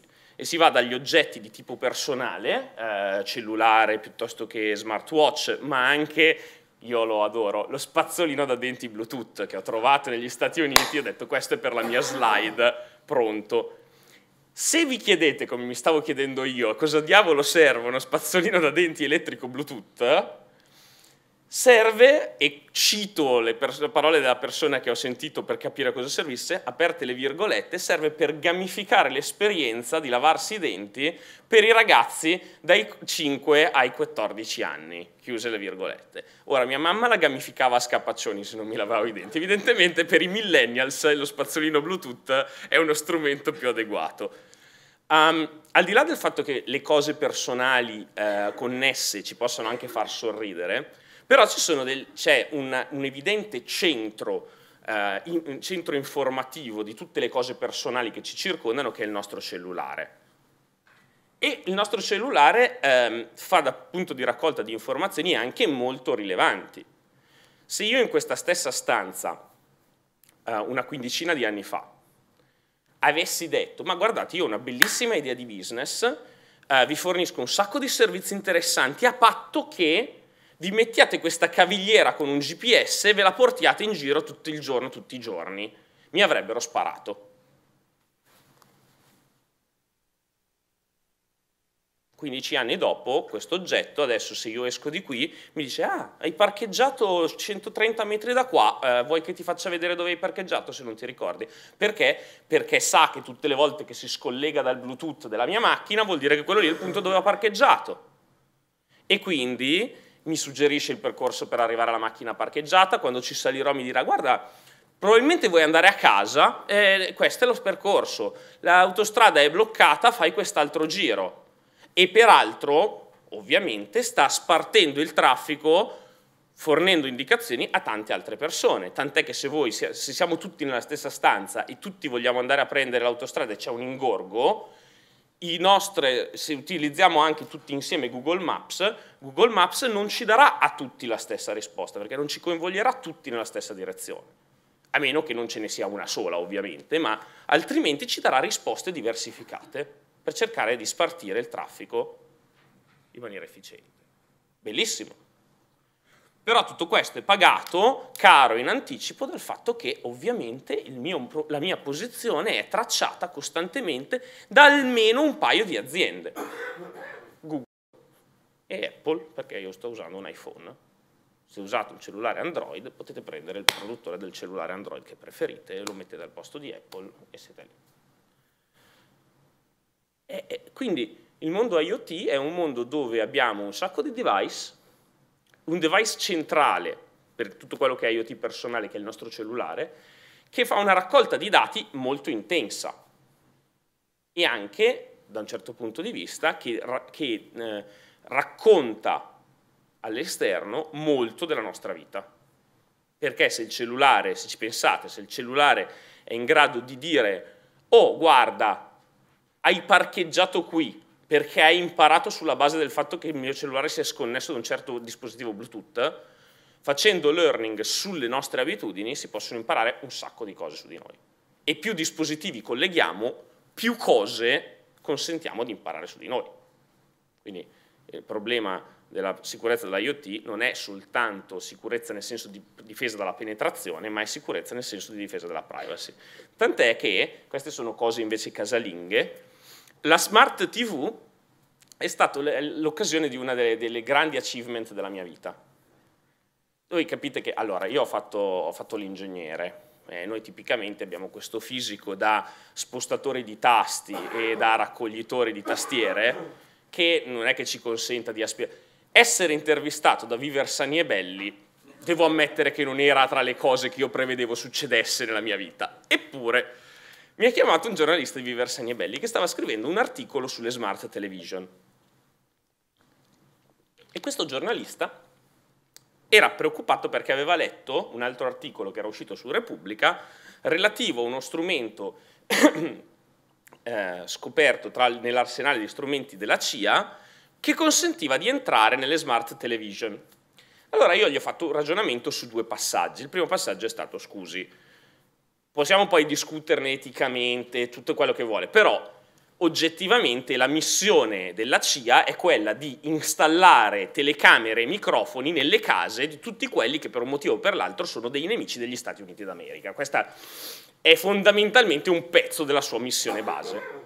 Per cui se io, sono, cioè, se io mi metto nei panni di un cittadino americano che paga le tasse, considerando che ci sono delle smart TV che hanno un microfono e una telecamera, se uno dei suddetti nemici degli Stati Uniti d'America è così pirla da mettere la televisione con il microfono e la telecamera in salotto, io mi aspetto che la CIA sia in grado di usare quel, quella telecamera e quel microfono. Considererei le persone della CIA estremamente negligenti se non avessero un sistema del genere. Lo do per scontato che ce l'abbiano e che, si, e che si siano attrezzati in merito. Dopodiché gli ho fatto una seconda domanda, ma secondo lei adesso, magari io mi sbaglio e Osama Bin Laden aveva un abbonamento a vitalizio a Viversani e Belli, però secondo me il lettore medio di Viversani e Belli non è un mio amico degli Stati Uniti d'America, non sulla hit list della CIA, magari lo è in cuor suo, però non credo sia sulla hit list della CIA. Per converso, secondo me, il lettore di Viversani e Belli si deve preoccupare di un altro scenario, cioè dello scenario per cui tra qualche anno lui sta seduto sul suo divano di casa, parla con la sua dolce metà di quanto gli piacerebbe andare in vacanza nei Caraibi e improvvisamente dal successivo spot televisivo in avanti, per mesi, compaiono solo spot di crociera ai Caraibi, perché ne ha parlato. Quello è lo scenario IoT di cui il, il lettore medio di Viversani e Belli si deve preoccupare, non la CIA che gli entra nel televisore. E questa cosa si aggrava man mano che noi aggiungiamo oggetti domotici. Poi ovviamente invece esistono oggetti domotici dove c'è un oggettivo rischio di penetrazione da parte di terzi. Eh, per esempio se l'oggetto domotico è un, è un sistema d'allarme, allora c'è un oggettivo rischio, perché? Ma, eh, perché ovviamente il, il, il sistema d'allarme è un bersaglio che ha una sua significatività. Del resto, se io vi chiedessi, cioè, cioè sono mesi eh, che si parla anzi anni in realtà, che si parla dei rischi informatici legati agli autoveicoli. Noi stessi facciamo ricerca su automotive security. Qual è il rischio più concreto cyber per un autoveicolo? Il furto. Perché il furto dell'autoveicolo fatto con la clonazione dei comandi è un attacco cyber, se lo volete vedere così ed è quello più banale, più evidente, ed è quello tra l'altro di cui si preoccupano di più le case automobilistiche a ragion veduta. C'è un modello di automobile che io non menzionerò, che è tipo la seconda macchina più rubata in Europa, che è la seconda macchina più rubata in Europa per due motivi. Il primo motivo è che è una bella macchina, un bel, un bel SUV sportivo, eh, quindi giustamente una macchina ambita. Secondo motivo è che nella freccia posteriore sinistra, dietro la freccia posteriore sinistra, passano due cavi del cosiddetto CAN bus, cioè della rete veicolare, quindi la persona che la vuole rubare stacca, la, la, stacca il vetrino della freccia, attacca due pinzette ai cavi e, fa, e, riprogramma la centralina della macchina. Tempo totale 45 secondi, lo, lo mescoli col fatto che la macchina costa 40.000 euro ed è la seconda più rubata in Europa, mi sembra evidente. No? Quindi gli oggetti IoT, alcuni hanno effettivamente un valore e uno schema d'attacco per cui valga la pena pensare alla penetrazione. Per molti altri no.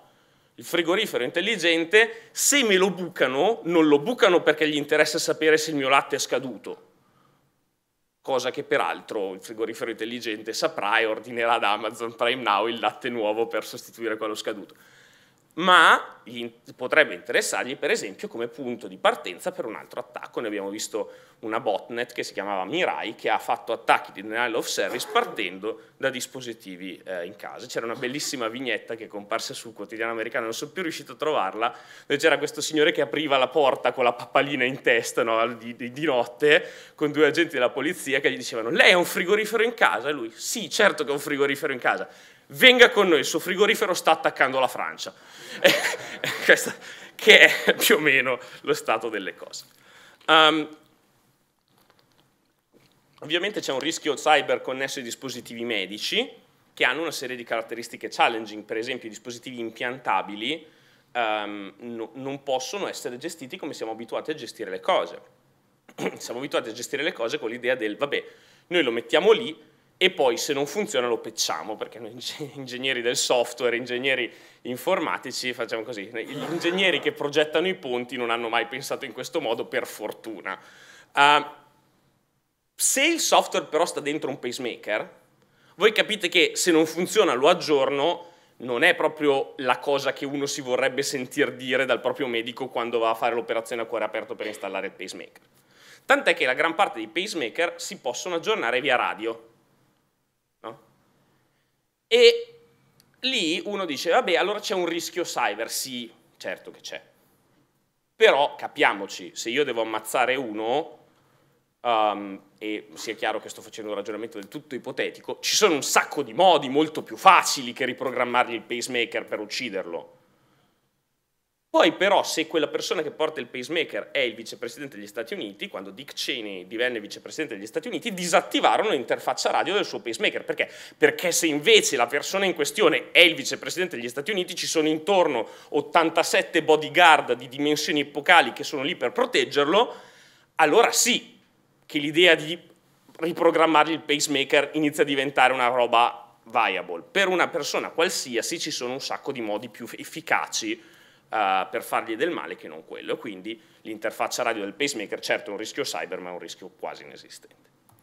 E poi c'è il problema dell'industria, uh, l'ingegner Boccardo prima faceva vedere un'interfaccia di ricerca di, show, di un motore che si chiama Shodan, questa è un'altra interfaccia che fa vedere ogni pallino è un sistema industriale che sciaguratamente risponde online.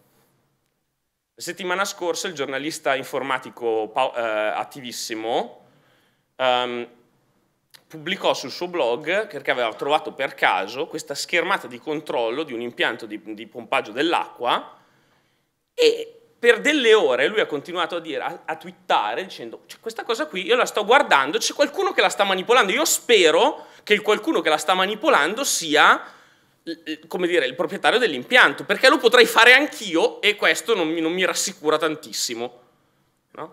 E quelli lì sono oggetti di questo tipo, alcuni magari sono esposti con un senso, ma la gran parte di questi oggetti sono esposti su internet e non dovrebbero stare lì perché quando vi connettete a uno di questi oggetti e vedete l'interfaccia di controllo di una turbina eolica, per dire, vi viene il sospetto che questa interfaccia di controllo non debba stare su internet senza password, è un sospetto legittimo.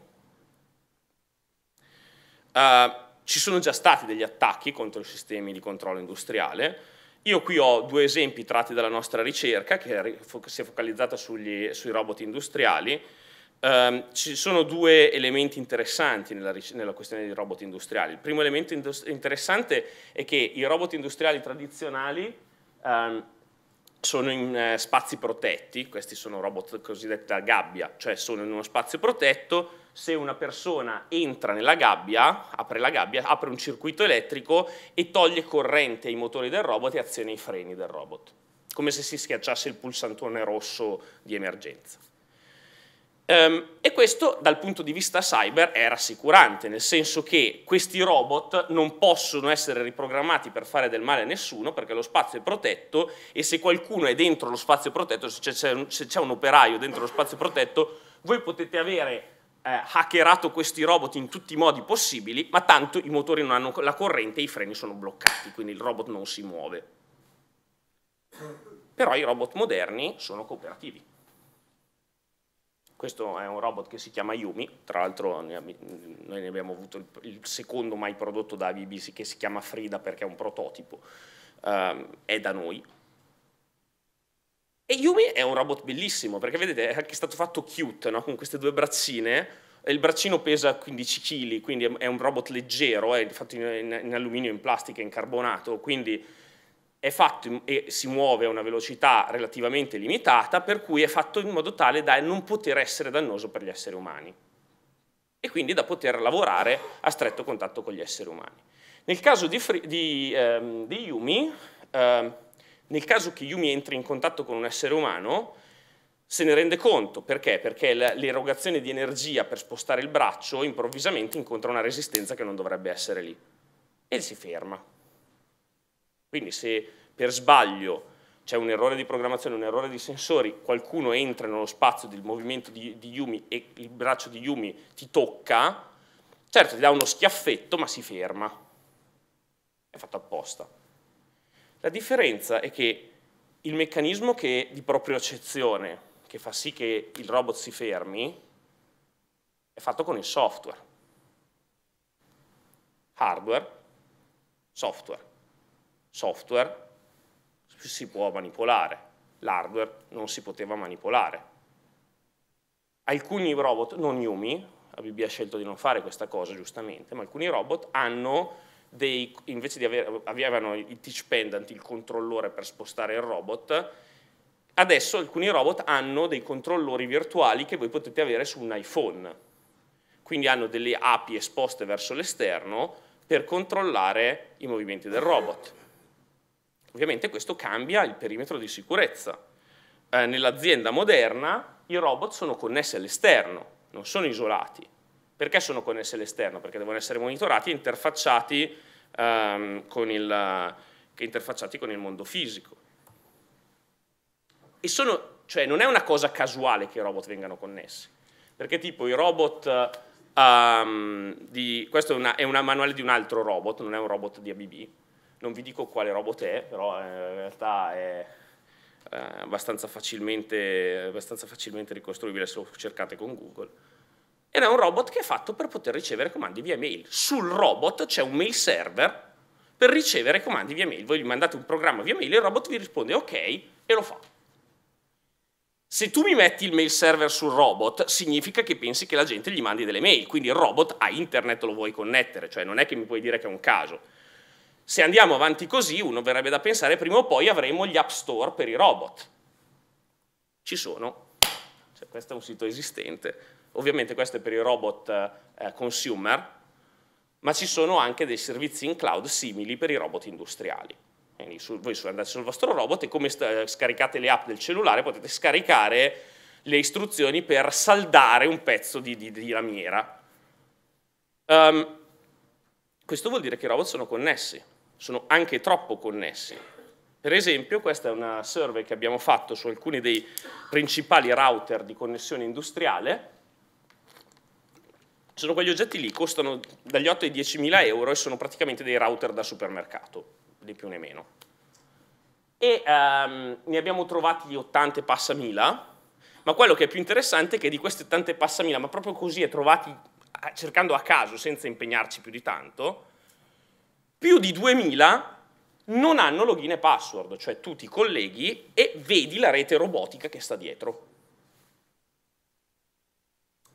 Um, abbiamo trovato una serie di vulnerabilità nei robot, vi rimando al nostro sito robosec.org dove trovate gli articoli, le vulnerabilità, le disclosure fatte alle aziende, ci sono dei video di presentazione.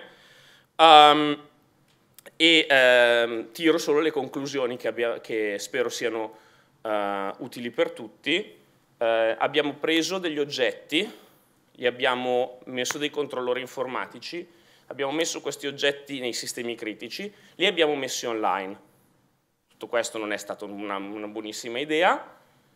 Nel mentre le minacce online si sono moltiplicate, sappiamo che ci sono, uh, di solito ci preoccupiamo dei problemi dei cosiddetti zero day, ma in realtà se leggerete la nostra ricerca sui robot vedrete che più che zero day sono dei forever day, perché ci sono delle vulnerabilità eh, lì dentro, tipo abbiamo trovato un buffer overflow, una vulnerabilità esattamente uguale a quelle che trovavo da ragazzino nel 97, si che si può anche controllare nello stesso modo, cioè se sono riuscito a bucarla io, vuol dire che è veramente eh, ancora esattamente come era ai bei tempi d'oro.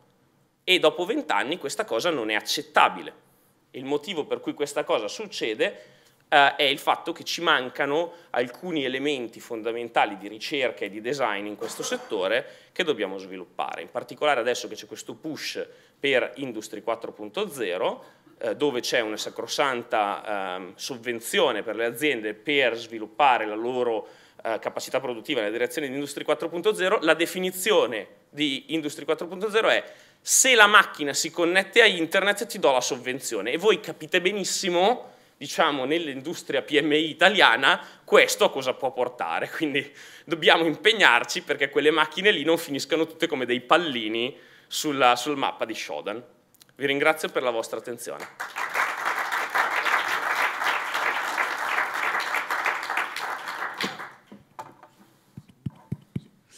Eh, grazie Stefano. Eh, uno dei punti credo importanti tra le varie cose molto interessanti che ha detto Stefano è proprio questa, ehm, questo fatto che insomma, nello sviluppare sistemi nuovi o nel rendere dei sistemi più moderni la sicurezza dovrebbe essere un elemento del design, no? perché cioè, non è che possiamo prendere una cosa e connetterla così com'è, altrimenti un sistema che in, isol in isolamento è sicuro ma ha vulnerabilità ovvie diventa un punto di attacco eh, fortissimo. Quindi è il discorso che facciamo prima, cioè prendere coscienza che la sicurezza cyber è un elemento importante e inserirlo nella parte di design, quindi avere dei sistemi che siano sicuri by design, no? quindi in qualche maniera. E questa è una delle cose su cui noi come accademici, ma credo che questo dovrebbe passare anche a livello eh, dell'industria, eh, su cui vogliamo veramente spingere. E lo stesso nell'automotive eh, un po' sta succedendo, nel senso c'è la rincorsa a avere sistemi automatici per, ma ci chiediamo se la sicurezza è stata un attimino presa veramente in considerazione o se è più un marketing no, che spinge a, a, connettersi perché questo vende di più. Quindi questa secondo me è una domanda che ci dobbiamo porre un po' tutti. Eh, vi ringrazio, il primo intervento sarà di Stefano Mele, avvocato, e che ci parlerà della parte eh, giuridica. Credo che questa sia diciamo, una cosa che forse non abbiamo ancora eh, esplicitato bene, ma è importante dire, è che la cyber security è una disciplina estremamente, che è un po' strano dirlo, una disciplina estremamente interdisciplinare, nel senso che coinvolge discipline diverse. Okay? Quindi All'interno della cyber security possiamo parlarne tecnicamente, abbiamo avuto eh, l'intervento anche di, del collega Stefano che da ingegnere lavora, eh, fa ricerca e sviluppa sistemi sicuri, li studia e li sviluppa, però chiaramente quando si parla di cyber security, e questo ve ne parlerò ancora un pochettino eh, dopo nel mio intervento sulla formazione, in realtà dobbiamo considerare cose completamente diverse dall'informatica e dall'ingegneria, quali la parte giuridica chiaramente, ma anche aspetti sociali,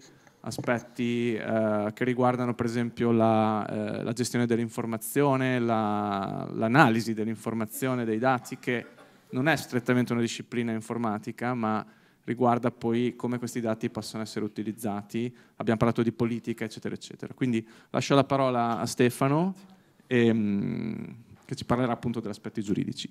Grazie, grazie mille. Grazie mille, buongiorno a tutti e i ringraziamenti davvero non di rito eh, sono agli organizzatori di questa giornata e di questo approfondimento davvero molto stimolante. Ehm, a cui darò il mio modesto contributo sulla parte relativa alle, in particolare alle norme. Mi è piaciuto moltissimo il titolo del, di questa conferenza, Cyber Security Last Call, eh, perché come molti di voi, eh, anzi come quasi tutti sapete, ehm, ci troviamo di fronte a una congiuntura temporale anche sotto il punto di vista non soltanto eh, tecnologico ma anche eh, normativo. Ci sono a maggio di quest'anno, infatti ehm, avranno eh, piena applicazione non solo il ehm, regolamento generale sulla protezione dei dati dell'Unione Europea, che cerca di eh, rivoluzionare davvero il, la gestione sotto un punto di vista legale del trattamento dei dati personali, ma eh, dovrà essere recepita entro il 9 maggio 2018, così come vedremo tra breve, anche la direttiva NIS, che è il primo tentativo dell'Unione Europea mh, di cercare di creare una linea comune e di armonizzare il livello di sicurezza delle informazioni eh, all'interno di tutti gli stati, gli stati membri. Mi presento molto velocemente, io sono Stefano Mele e eh, sono responsabile del Dipartimento di Diritto delle Tecnologie, Privacy, Cyber Security e Intelligence di Carnelutti, studio legale associato eh, a Milano. Da sette anni l'ho creato e da sette anni lo porto avanti, ma la mia attività non è soltanto relativa alla consulenza strettamente legale, Nell'altra parte della giornata, nelle altre 12 ore, mi occupo anche di consulenza in ambito di sicurezza nazionale per eh, il governo italiano e per la Nato e in particolar modo nella Nato sono ehm, presidente del Comitato sulla sicurezza cibernetica del eh, Comitato Atlantico Italiano. Senza dilungarmi oltre sulla mia presentazione che lascia anche un po' insomma, il tempo che trovo, ma è solo per giustificare il perché vi parlerò non solo di norme ma anche di, di intersezione delle norme nell'ottica della sicurezza nazionale, partirò eh, sicuramente dal raccontarvi un po' la, eh, la direttiva NIS. Come vi dicevo, la direttiva NIS è una norma molto molto importante, al di là infatti del contenuto, che può essere sindacabile o meno, è importante perché è un, uh, non last call about cyber security, ma un first call dell'Unione Europea a cercare di prendere davvero sul serio la materia della sicurezza dell'informazione e della sicurezza informatica. In realtà non è la prima normativa europea ovviamente in questo settore, ce ne sono state tante altre precedenti, addirittura una uh, già verso la fine degli anni 90, eh, ma erano eh, normative che avevano una focalizzazione su specifiche problematiche, non guardavano invece la, la, la problematica dal, dal, sul piano globale, quindi sul piano più strategico. La direttiva NIS cerca di fare esattamente questo e si rivolge, come vedete, a, in particolar modo a due categorie di eh, soggetti giuridici.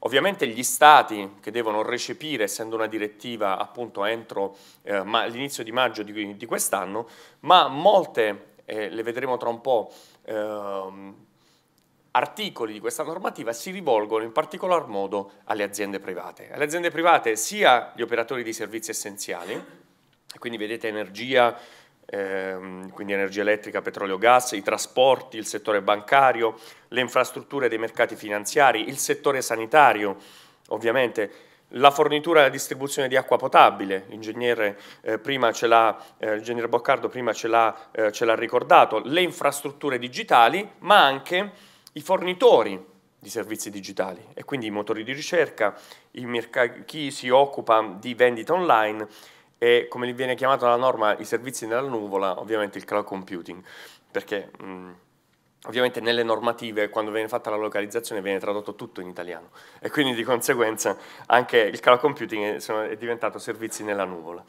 Eh, non si rivolge invece ai, eh, alle imprese che forniscono reti pubbliche di comunicazione o servizi di comunicazione elettronica accessibili al pubblico perché già regolati da un'altra normativa, che è quella, da un'altra direttiva che è quella del, del 2002, che già eh, pone alcuni obblighi, in particolar modo non solo di sicurezza ma anche di, eh, di notifica, e la norma richiede una valutazione a ogni singolo Stato membro anche per eh, le società che erogano servizi bancari, perché anche i servizi bancari, come sapete, sono fortemente regolarizzati sul piano normativo e quindi di conseguenza viene richiesto uno sforzo in più allo Stato per calibrare la direttiva NIS verificando quelle che sono le normative nazionali in materia bancaria. In ogni caso, ed è qui il primo eh, diciamo, sforzo, fra virgolette, perché in realtà, come ci diceva l'ingegnere Borcardo prima, ehm, di definizioni di infrastrutture critiche ne abbiamo avute, ma sono sempre molto confuse e eh, non sono regolamentate effettivamente da, eh, da una norma che sia comune. E quindi per arrivare a risolvere questo problema, il primo punto che la direttiva NIS richiede agli Stati in questo caso è entro il 9 novembre del 2018 quello di identificare per ciascun settore ma anche per ciascun sottosettore tutti gli operatori dei servizi essenziali che vi ho eh, accennato prima, che abbiano una sede nel territorio di ogni singolo Stato membro. Quindi io immagino, no, per quanto riguarda l'Italia, l'ENI per il settore petrolifero, Enel per l'erogazione dell'energia elettrica e così, via, e così via. E questo elenco deve essere aggiornato da ogni Stato il, ogni due anni, entro il 9 maggio, eh, entro due anni dopo il 9 maggio del 2018, che è la data entro cui il, ogni Stato membro deve assorbire questa normativa. I criteri per l'identificazione degli operatori di servizi, dice la norma, sono un soggetto ovviamente che, che, fornisce un servizio che è essenziale e critico per il mantenimento di attività sociali o economiche fondamentali, che questo servizio ovviamente dipenda da, un, da strumenti informatici e il terzo elemento è che un incidente a quegli specifici strumenti informatici di quello specifico soggetto giuridico che li eroga avrebbero effetti negativi rilevanti sulla fornitura di tale servizio. Quindi questi sono i tre criteri posti in essere dal legislatore europeo a cui ogni Stato in questo momento sta guardando per redigere questa lista di eh, aziende nazionali che erogano servizi critici. Ora, da questo piccolo passo che viene richiesto agli Stati membri, in realtà la normativa richiede agli Stati sempre di controllare nel tempo che effettivamente questi operatori di servizi essenziali adottino misure di sicurezza adeguate per prevenire e minimizzare l'impatto di incidenti, ovviamente relativi non soltanto ai dati personali, perché non ci troviamo all'interno della normativa sui dati personali a cui magari siamo un po' più abituati a riflettere, in questo caso parliamo a 360 gradi di una normativa che cerca di individuare l'impatto sulla sicurezza delle informazioni in genere, quindi sull'erogazione del servizio essenziale, quindi un bene sicuramente più, eh, più alto, eh, sicuramente pubblico e sicuramente più, eh, più alto, perché l'obiettivo ovviamente per il legislatore europeo è quello che venga garantita la continuità di erogazione di questo servizio. Quindi gli Stati membri dovranno obbligare ciascuna di queste aziende inserite all'interno degli elenchi degli operatori che erogano servizi essenziali affinché, quindi dovranno obbligare affinché questi soggetti notifichino dice la norma senza indebito ritardo, all'autorità competente o al CSIRT gli incidenti aventi un impatto rilevante su questa continuità dei servizi. Fra parentesi, dato che, come tutti sapete, anzi la maggior parte di voi sicuramente potrà insegnarvi internet, ci interconnette tutti, la norma non richiede soltanto la segnalazione nazionale del fornitore di servizi essenziali alla sua autorità, il, fornitore di servizi essenziali dovrà notificare alla sua autorità anche la valutazione sulla possibilità che quell'incidente informatico possa causare all'interno dell'Unione Europea verso altri cittadini europei il medesimo effetto. E quindi in quel caso lo Stato membro dove risiede fisicamente quel fornitore di servizi essenziali dovrà immediatamente connettersi fra virgolette, con l'altra rete, di, con l'altra rete di operatori a livello europeo e comunicare il rischio in corso. Ovviamente, dice la norma, lo vedete nell'ultima, um, nell'ultima frase, la notifica non deve esporre la parte che l'effettua a una maggiore responsabilità, maggiore rispetto ovviamente da un punto di vista giuridico all'eventuale caso del dolo o della colpa grave, ovviamente. Per determinare la rilevanza di un incidente o comunque per, per determinare l'impatto di un incidente, la norma richiede tre punti in particolare che devono essere posti, presi in considerazione. Ovviamente il numero di utenti interessati dall'incidente, la durata dell'incidente e come vi dicevo anche la diffusione eh, geografica. Ovviamente lo Stato si garantisce già all'interno della direttiva NIS il diritto nel caso di informare, una volta avuta la notizia dall'operatore del servizio essenziale, di informare tutti i cittadini dell'accaduto. Quindi per esempio da un punto di vista strettamente giuridico eh, questo, questo evento, qualora si verificasse, potete immaginare che anche ricadute ha sul, sull'immagine stessa dell'azienda. Inoltre gli Stati membri provvedono affinché, dice la norma, le autorità competenti siano dotate ovviamente dei poteri e delle capacità di effettuare questi, questi controlli e dei mezzi necessari e quindi eh, si richiede di fornire le informazioni necessarie per valutare la sicurezza della loro rete e dei loro sistemi agli operatori e la prova dell'effettiva attuazione delle politiche di sicurezza. Quindi è un controllo che ancora una volta avverrà per sintetizzare, dallo Stato membro verso l'infrastruttura, perché vengano create tutte l'humus necessario affinché questo circolo virtuoso si crei, la struttura che eroga un servizio essenziale dovrà poi rimandare informazioni costanti verso il punto di snodo nazionale e il punto di snodo valuterà non soltanto la gravità dell'eventuale incidente e quindi se notificarlo o meno agli altri operatori di servizi essenziali all'interno dell'Unione Europea attraverso i loro governi o ai cittadini quello, del, dello specifico governo o addirittura, lo leggete nell'ultimo paragrafo, imporre a quell'operatore di servizi essenziali delle vere e proprie attività di rimedio alle carenze individuate. Quindi come vedete eh, l'impianto che è stato posto in essere dal legislatore europeo è un impianto di assoluta attenzione e di controllo anche abbastanza capillare o addirittura di intervento capillare del governo, eh, almeno nei confronti degli operatori essenziali. Questo in maniera molto molto sintetica per mettere in, ehm, sul piatto della discussione di oggi quelli che sono un po' le richieste che vengono fatte alle aziende in questo momento per quanto riguarda la direttiva NIS. Un'ulteriore norma eh, molto importante, questa immagino ne abbiate sentito parlare tutti perché eh, diciamo, ormai vi arriveranno almeno 3 o 4 mail al giorno relative all'adeguamento sul GDPR cosiddetto, quindi sul regolamento europeo per la protezione dei dati e qui io ho voluto utilizzare un'immagine per introdurvi questo discorso eh, che attiri la vostra attenzione su un piccolo particolare.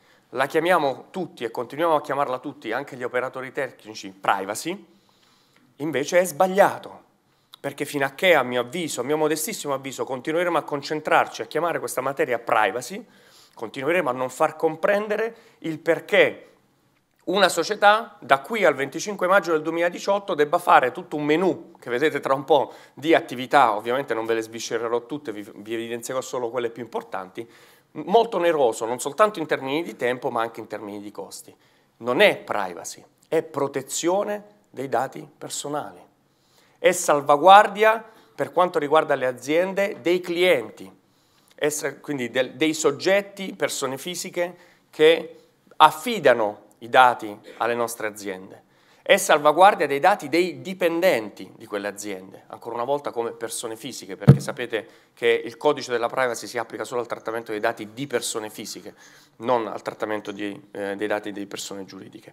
Ecco, a mio avviso noi continuiamo a concentrarci e a parlare in maniera errata di questa materia, perché continuiamo a richiamarla privacy e probabilmente oggi nel momento in cui nominiamo privacy ci viene in mente la tutela della nostra sfera personale, dei televisori con una telecamera e un microfono, che, che è un valore importantissimo per l'amor di Dio, ma non giustifica uno sforzo tale per le aziende, soprattutto in una fase di compliance ormai a stretto giro come quella del GDPR.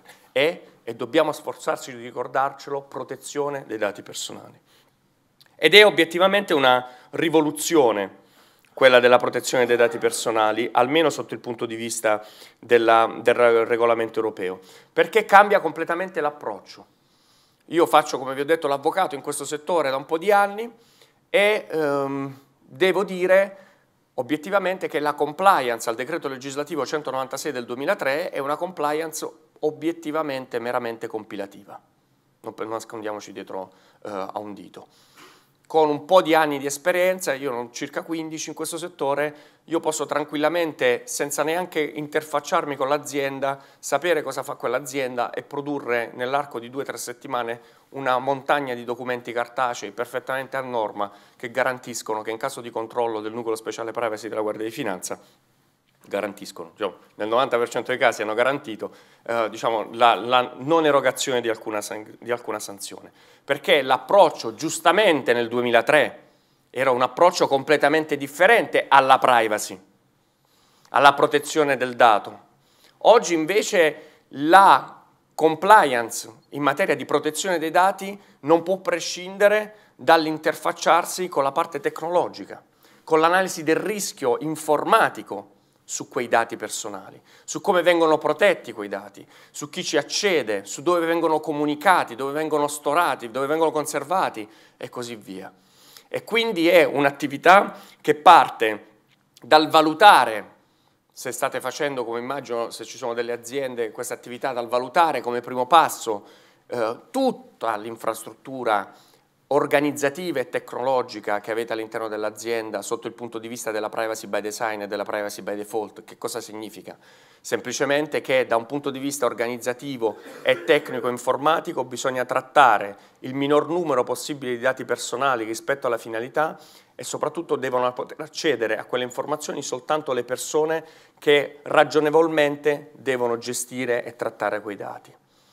Quindi dobbiamo immaginare una protezione del dato personale sia by design, quindi nella, nel disegno del processo, sia questo organizzativo, quindi umano, ma anche quello informatico, e by default ovviamente è strettamente legato al software.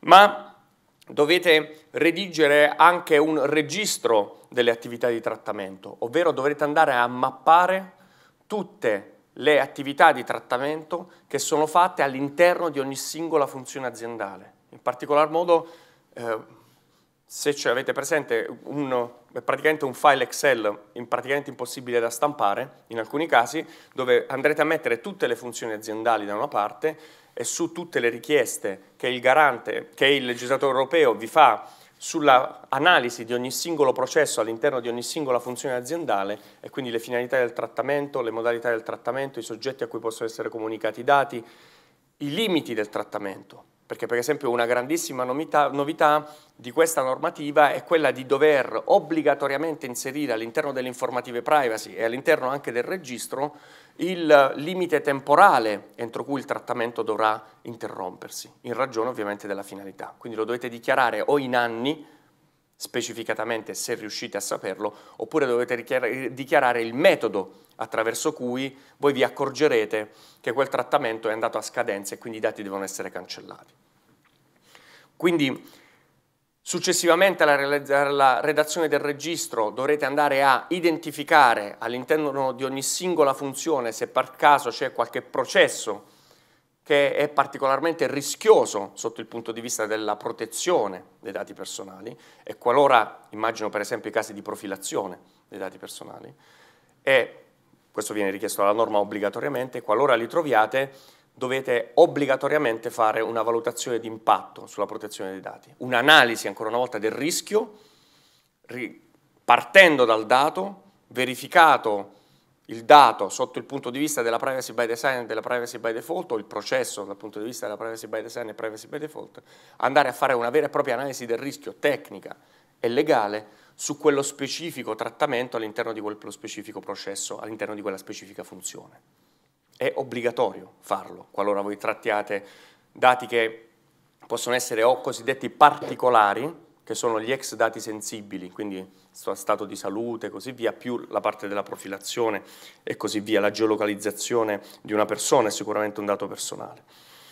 Ma attenzione, perché nell'ottica, vedete come viene ripreso anche dal, un po' dalla direttiva NIS l'obbligo per gli erogatori di servizi essenziali di dover comunicare all'autorità un eventuale data breach, l'obbligo per le aziende che trattano dati personali di dover comunicare all'autorità garante per la protezione dei dati eventuali data breach ovviamente avvenuti magari sul database dei, eh, dei clienti.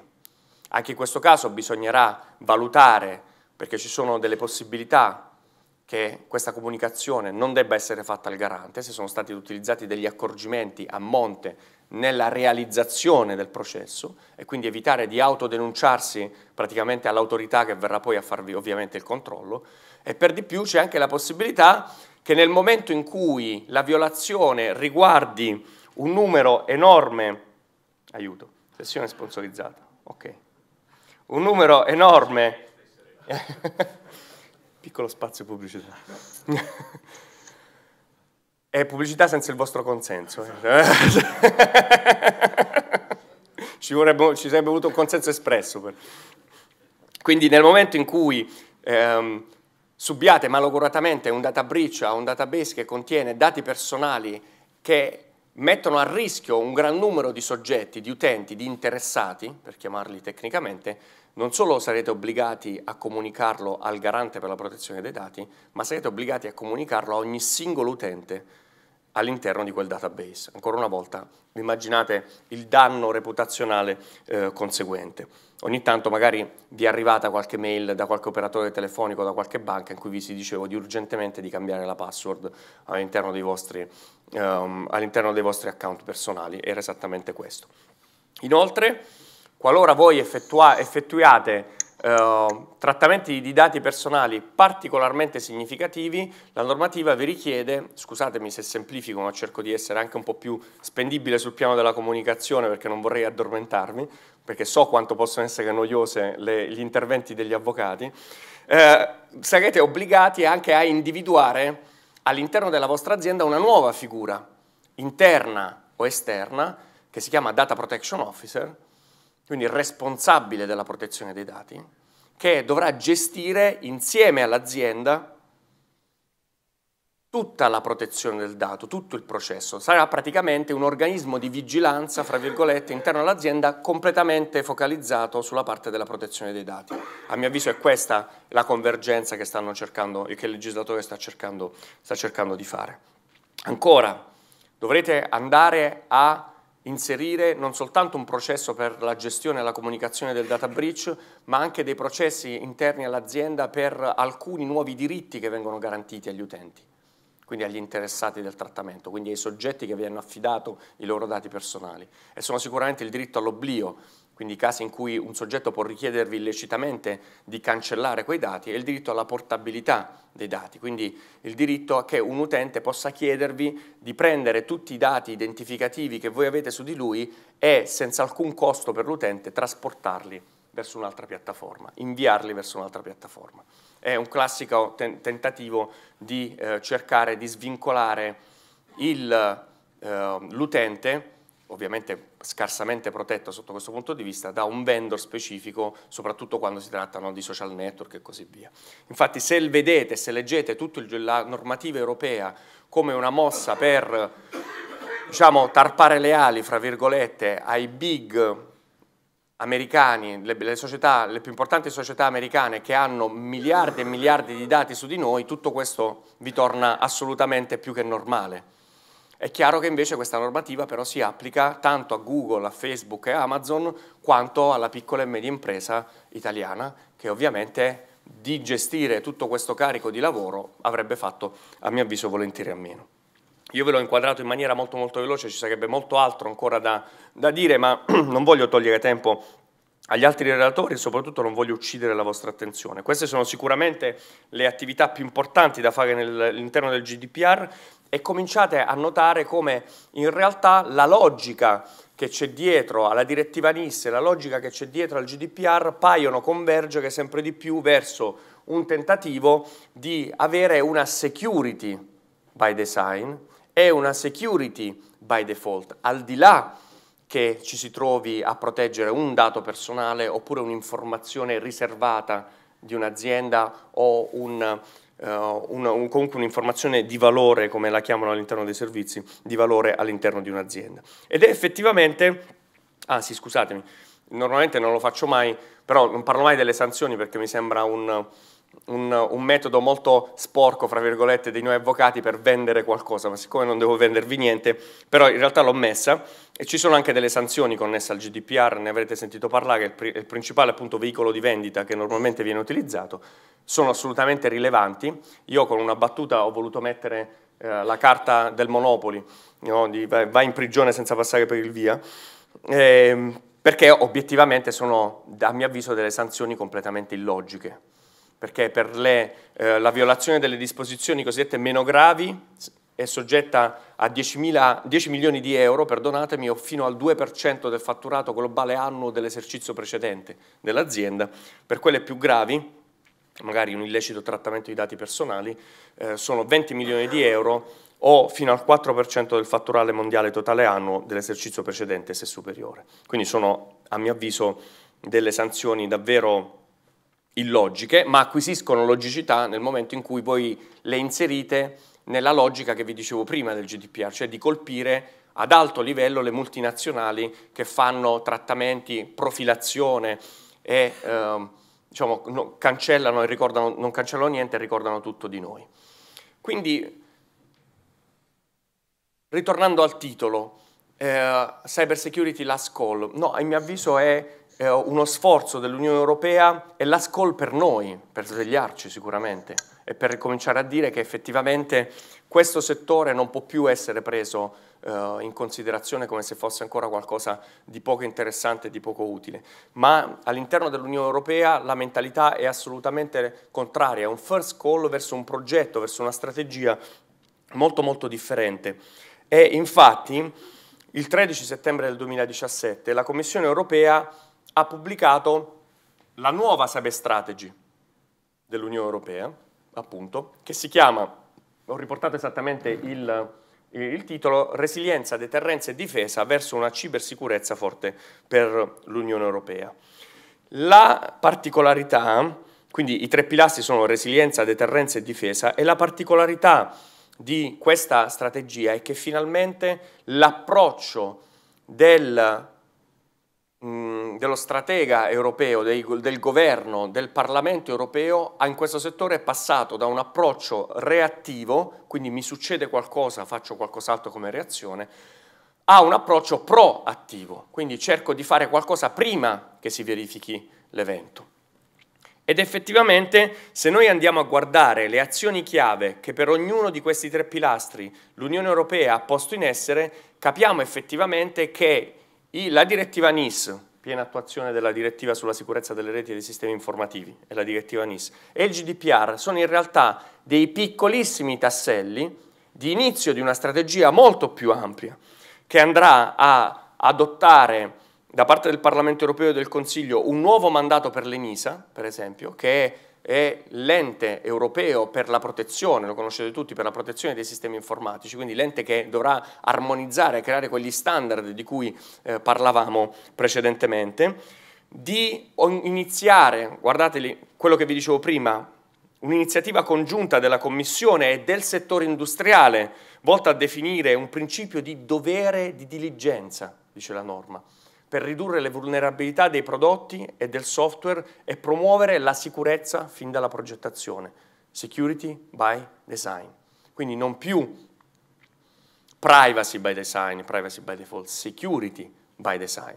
E quindi è chiaro come la direttiva NIS e il GDPR sono un punto di partenza verso questo, ma ancora attuare un programma per la risposta agli incidenti informatici trasfrontalieri su larga scala, attivando per esempio la clausola di solidarietà dell'Unione Europea, perché pochissime persone sanno in realtà che l'articolo 222 della eh, fondazione della nostra Unione Europea già prevede da anni, quindi dalla fondazione stessa dell'Unione Europea, una clausola di solidarietà, cioè nel momento in cui uno Stato nemico ovviamente nel momento in cui attacca, ma anche amico fino a poco tempo prima, a dovesse attaccare l'Unione Europea, l'attacco verso uno Stato dell'Unione Europea è un attacco verso tutta l'Unione Europea. Un po' quello che la Nato ha introdotto recentemente per il blocco NATO in ambito cyber, quindi l'estensione della validità dell'articolo 5, dove si dice un attacco militare a un paese che è, ci diceva l'ingegnere prima, a un paese che è membro del blocco NATO è un attacco contro tutta la Nato e la Nato può reagire. Questo per quanto riguarda le azioni chiave in materia di resilienza. Le azioni chiave in materia di deterrenza invece. Attuare nel 2018, all'inizio del 2018, una iniziativa comune della Commissione per l'accesso transfrontaliero alle evidenze informatiche, quindi cercare di risolvere uno dei problemi, se c'è qualche avvocato in sala, soprattutto se fa penale, più rilevante in questo momento, dove i penalisti non riescono a gestire la difesa perché il crimine è transfrontaliero, però la collaborazione è a stento nazionale. E questo è un problema enorme. Ancora, rapida adozione da parte del Parlamento europeo e del Consiglio della proposta di direttiva relativa alla lotta contro le frodi e soprattutto la falsificazione dei mezzi di pagamento diversi dai contanti, carte di credito, ma anche io vedo da qui una, uh, un inizio di strada verso anche le, le cryptocurrency, per esempio. Inoltre, sempre per quanto riguarda la deterrenza, queste sono solo le più importanti, eh, l'attuazione del quadro per una risposta diplomatica congiunta dell'Unione Europea alle attività informatiche dolose attraverso l'inclusione della cyber defense nel quadro PESCO, cioè nella cooperazione strutturata permanente. Quindi si cerca di dare anche una risposta a quello che ci introduceva all'inizio l'ingegner Boccardo sulle attività degli stati che fanno conflitti attraverso internet e le tecnologie perché inserire la cyber defense nella cooperazione strutturata permanente, la cosiddetta PESCO, è il primo passo per portare al tavolo della diplomazia internazionale anche gli attacchi fatti dagli Stati, oggi soprattutto senza un quadro specifico. L'ultima slide e le ultime azioni sono quelle relative al terzo pilastro della strategia dell'Unione Europea che è la cooperazione internazionale e attenzione vi ho riportato esattamente tra parentesi e tra virgolette quello che dice l'Unione Europea, l'Unione Europea c'è scritto promuove fortemente la posizione secondo cui nel cyberspazio il diritto internazionale si applica e in particolare si applica la Carta delle Nazioni Unite. Questo perché c'è un dibattito in atto soprattutto a livello legale, soprattutto a livello internazionale, in ambito, delle, in ambito Nazioni Unite in particolare, eh, perché la Nato è un po' più co coesa sotto questo punto di vista, nel capire se il diritto internazionale e soprattutto il diritto internazionale dei conflitti si applichi o no allo stato attuale anche alle attività di conflitto all'interno del cyberspazio. La strada era stata tracciata già da un po' di tempo verso questo questa soluzione, il fatto che l'Unione Europea lo specifichi in maniera assolutamente chiara e diretta all'interno della sua nuova cyber strategy è un segnale sicuramente molto forte.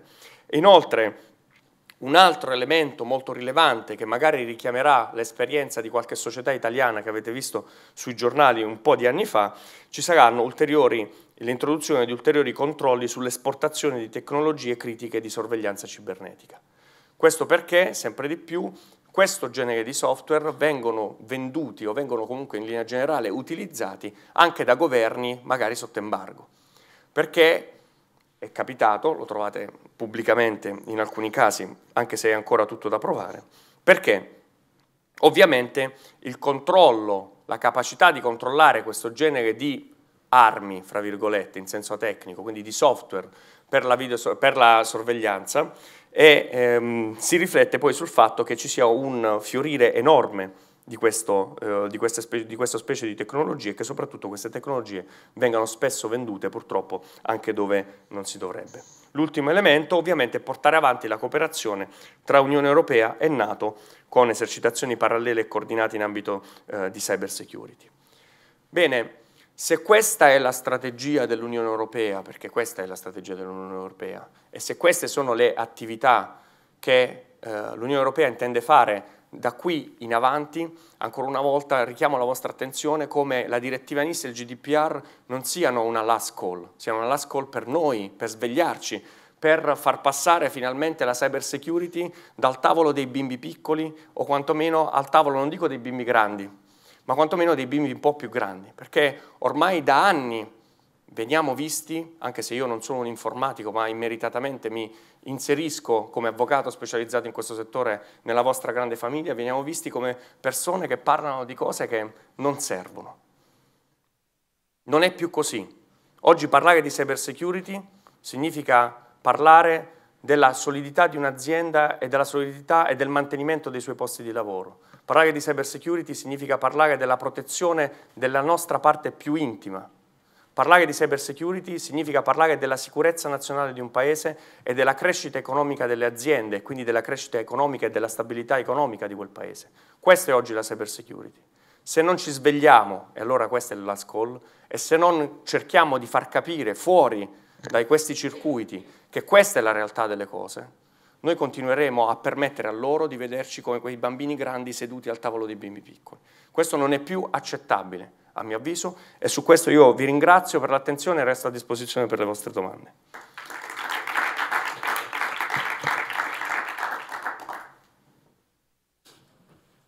Se ci sono.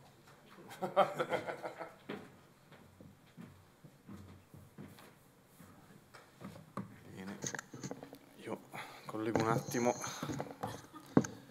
Quindi adesso sono nella strana situazione in cui devo presentare me stesso e moderarmi, per cui cercherò di...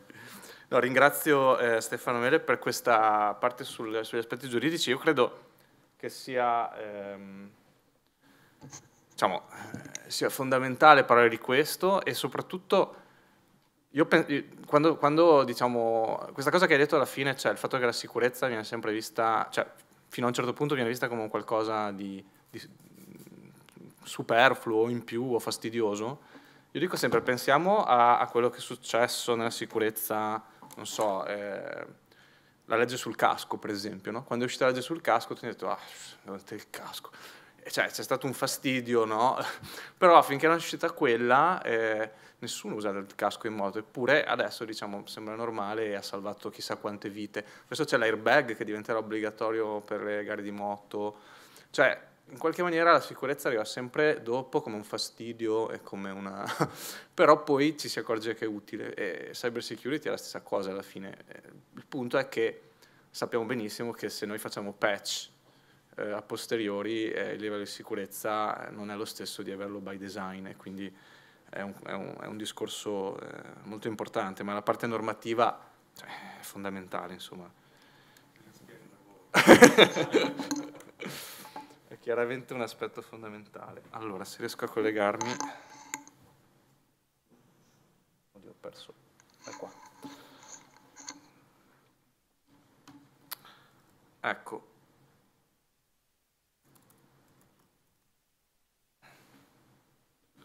Vediamo se parte.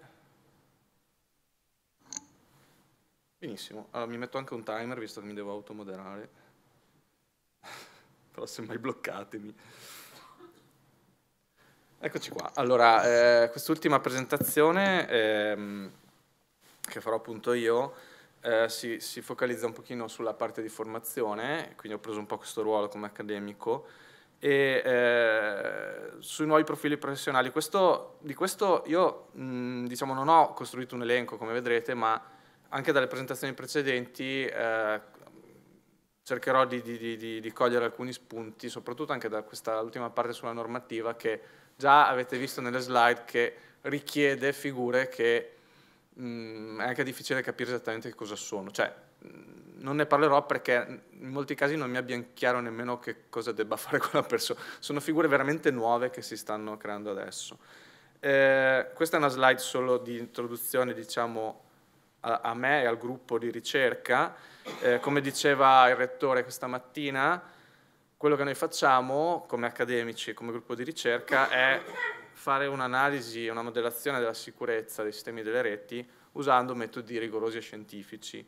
E in questo devo, mi piace anche menzionare il Laboratorio Nazionale di Cyber Security, che eh, è, è, una, è stato menzionato sempre dal rettore per quanto riguarda questo progetto Filiera Sicura, è un consorzio, il CINE è un consorzio interuniversitario e all'interno del CINE è nato questo laboratorio che devo dire è, prima, è il primo laboratorio che vedo eh, di, un, di, uno di questi consorzi, diciamo che spesso sono dei cappelli vuoti, che veramente funziona e ha, e ha creato cose estremamente virtuose.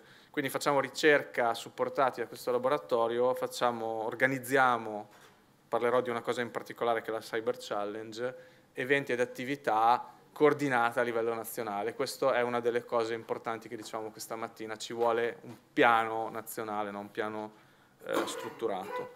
Eh, sempre il rettore menzionava il discorso dell'hacking etico e di questo vi parlerò un pochettino alla fine e eh, ho, ho menziono anche la spin-off, sempre eh, già menzionata dal rettore, perché credo che questo sia interessante, cioè nel momento in cui noi facciamo ricerca anche accademica, però la riusciamo a portare in una tecnologia che può essere usata dall'industria e dalle aziende, credo che questo sia un valore aggiunto. E come mostrava anche Stefano prima, eh, dove lo, una ricerca che, che, è stata fatta al Politecnico appunto sulla sicurezza dei robot industriali, ecco, diciamo ricerca accademica che diventa però eh, un modo importante per migliorare lo stato, stato dell'arte industriale. Okay? Quindi diciamo, eh, la cyber security è anche questo, è un, è, una, è un tema in cui la ricerca, eh, se volete anche teorica, accademica e l'applicazione di questa ricerca eh, molto, sono molto collegate tra loro. Questo è l'esempio che faceva il rettore, cioè una ricerca che abbiamo fatto qualche anno fa sulla sicurezza delle smart card e dei, delle chiavette criptografiche, è una cosa cyberfisica, come diceva Stefano, cioè è un oggetto che contiene una tecnologia software che però ha un impatto nella vita fisica. Se io faccio una firma digitale e questo ha un valore legale, è chiaro che questa non è solo software, ma diventa eh, un qualcosa che poi mi può eh, portare a delle sanzioni piuttosto che delle responsabilità. E eh, l'impatto industriale, nel momento in cui questo l'abbiamo trasformato in un software che analizza questi sistemi utilizzando la ricerca, quella cosa che vedete in mezzo rossa con tutte le freccette, è quello che diceva il rettore, il model checking, cioè la verifica di un modello, di un qualcosa, e da qui posso proporre un rimedio, quindi una, una tecnologia migliore, allora questo fa sì che la ricerca accademica diventa un qualcosa che poi eh, è utile nella pratica, è utile eh, a livello appunto del, del sistema paese e così via. Allora, perché parliamo di formazione? Eh, parliamo di formazione perché eh, innanzitutto c'è, come dicevamo questa mattina, eh, un, un, utilizzo pervasivo, crescente forse limitante, pervasivo del, di quello che abbiamo chiamato cyberspace. Okay? Siamo completamente connessi, il cyberspace è di fatto una dimensione nuova che si aggiunge alla dimensione fisica a cui siamo abituati.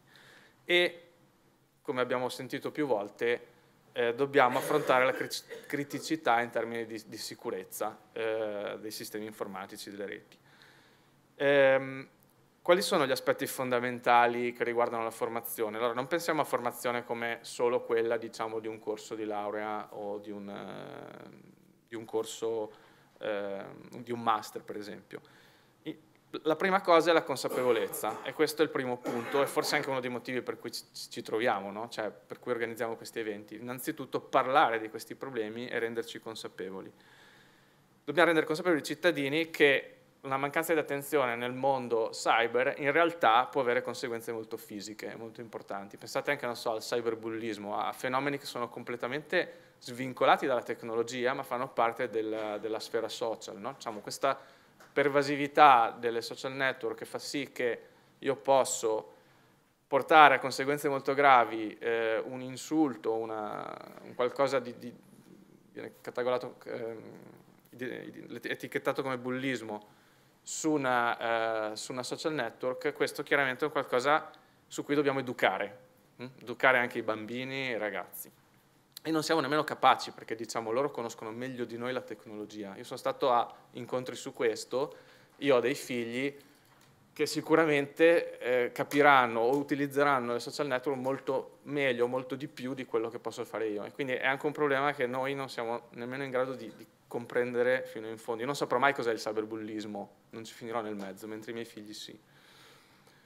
e, e poi promuovere la, la, la, la, cultura della sicurezza cyber, sia nell'educazione di base, quindi anche nelle scuole eh, da, a tutti i livelli, ma soprattutto, eh, ne parliamo qua, della parte professionale e universitaria. Il discorso di aumentare la consapevolezza è un problema importante. Io qui vi ho messo sempre un, un esempio che riguarda quello che facciamo noi, ma ce ne sono tanti una cosa che sta venendo fuori negli ultimi anni, eh, nell'ambito sia diciamo, accademico ma anche semplicemente di community, di hacking, è far venire fuori i problemi cyber. Cioè,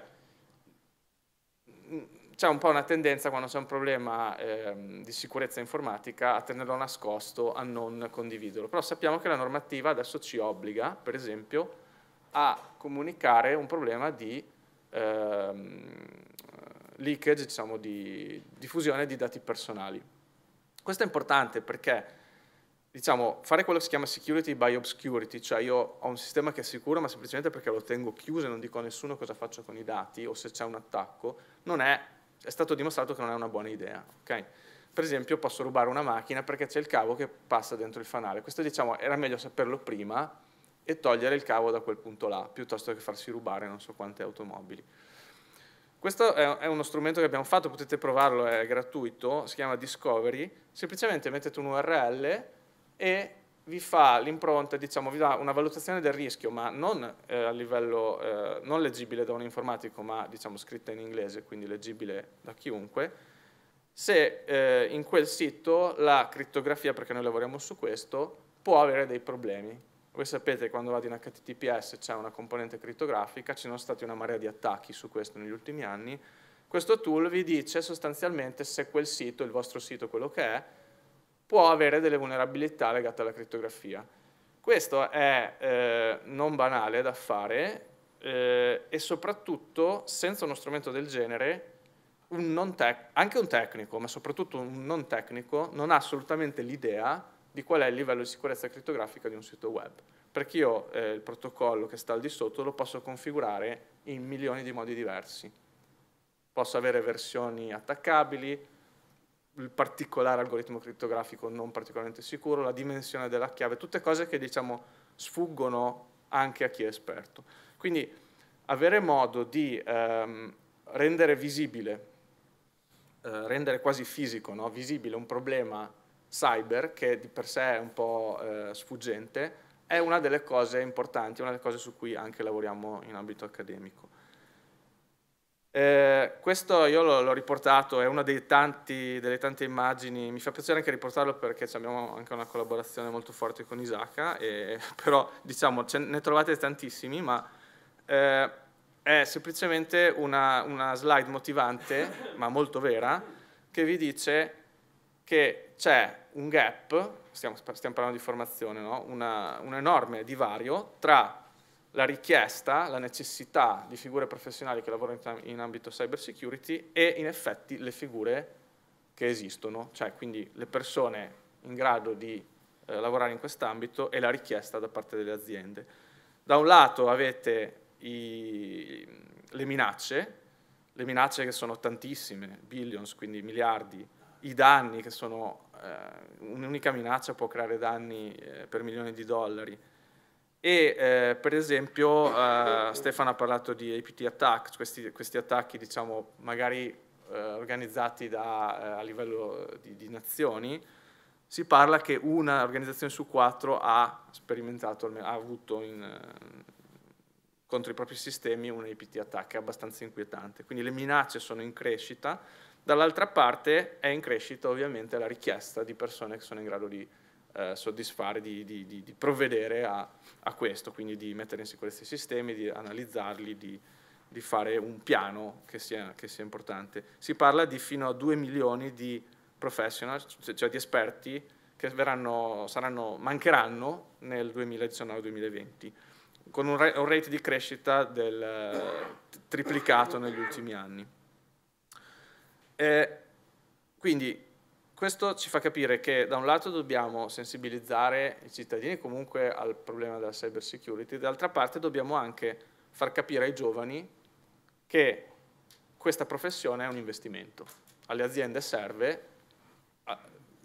e tra l'altro vi farò vedere anche divertente in qualche maniera dal punto di vista tecnico, e non c'è però la percezione, evidentemente da qui vedete che non c'è la percezione che è una, un qualcosa su cui investire né da parte del, dei ragazzi giovani e forse a volte nemmeno da parte delle università che creano formazioni su, su, su argomenti svariati.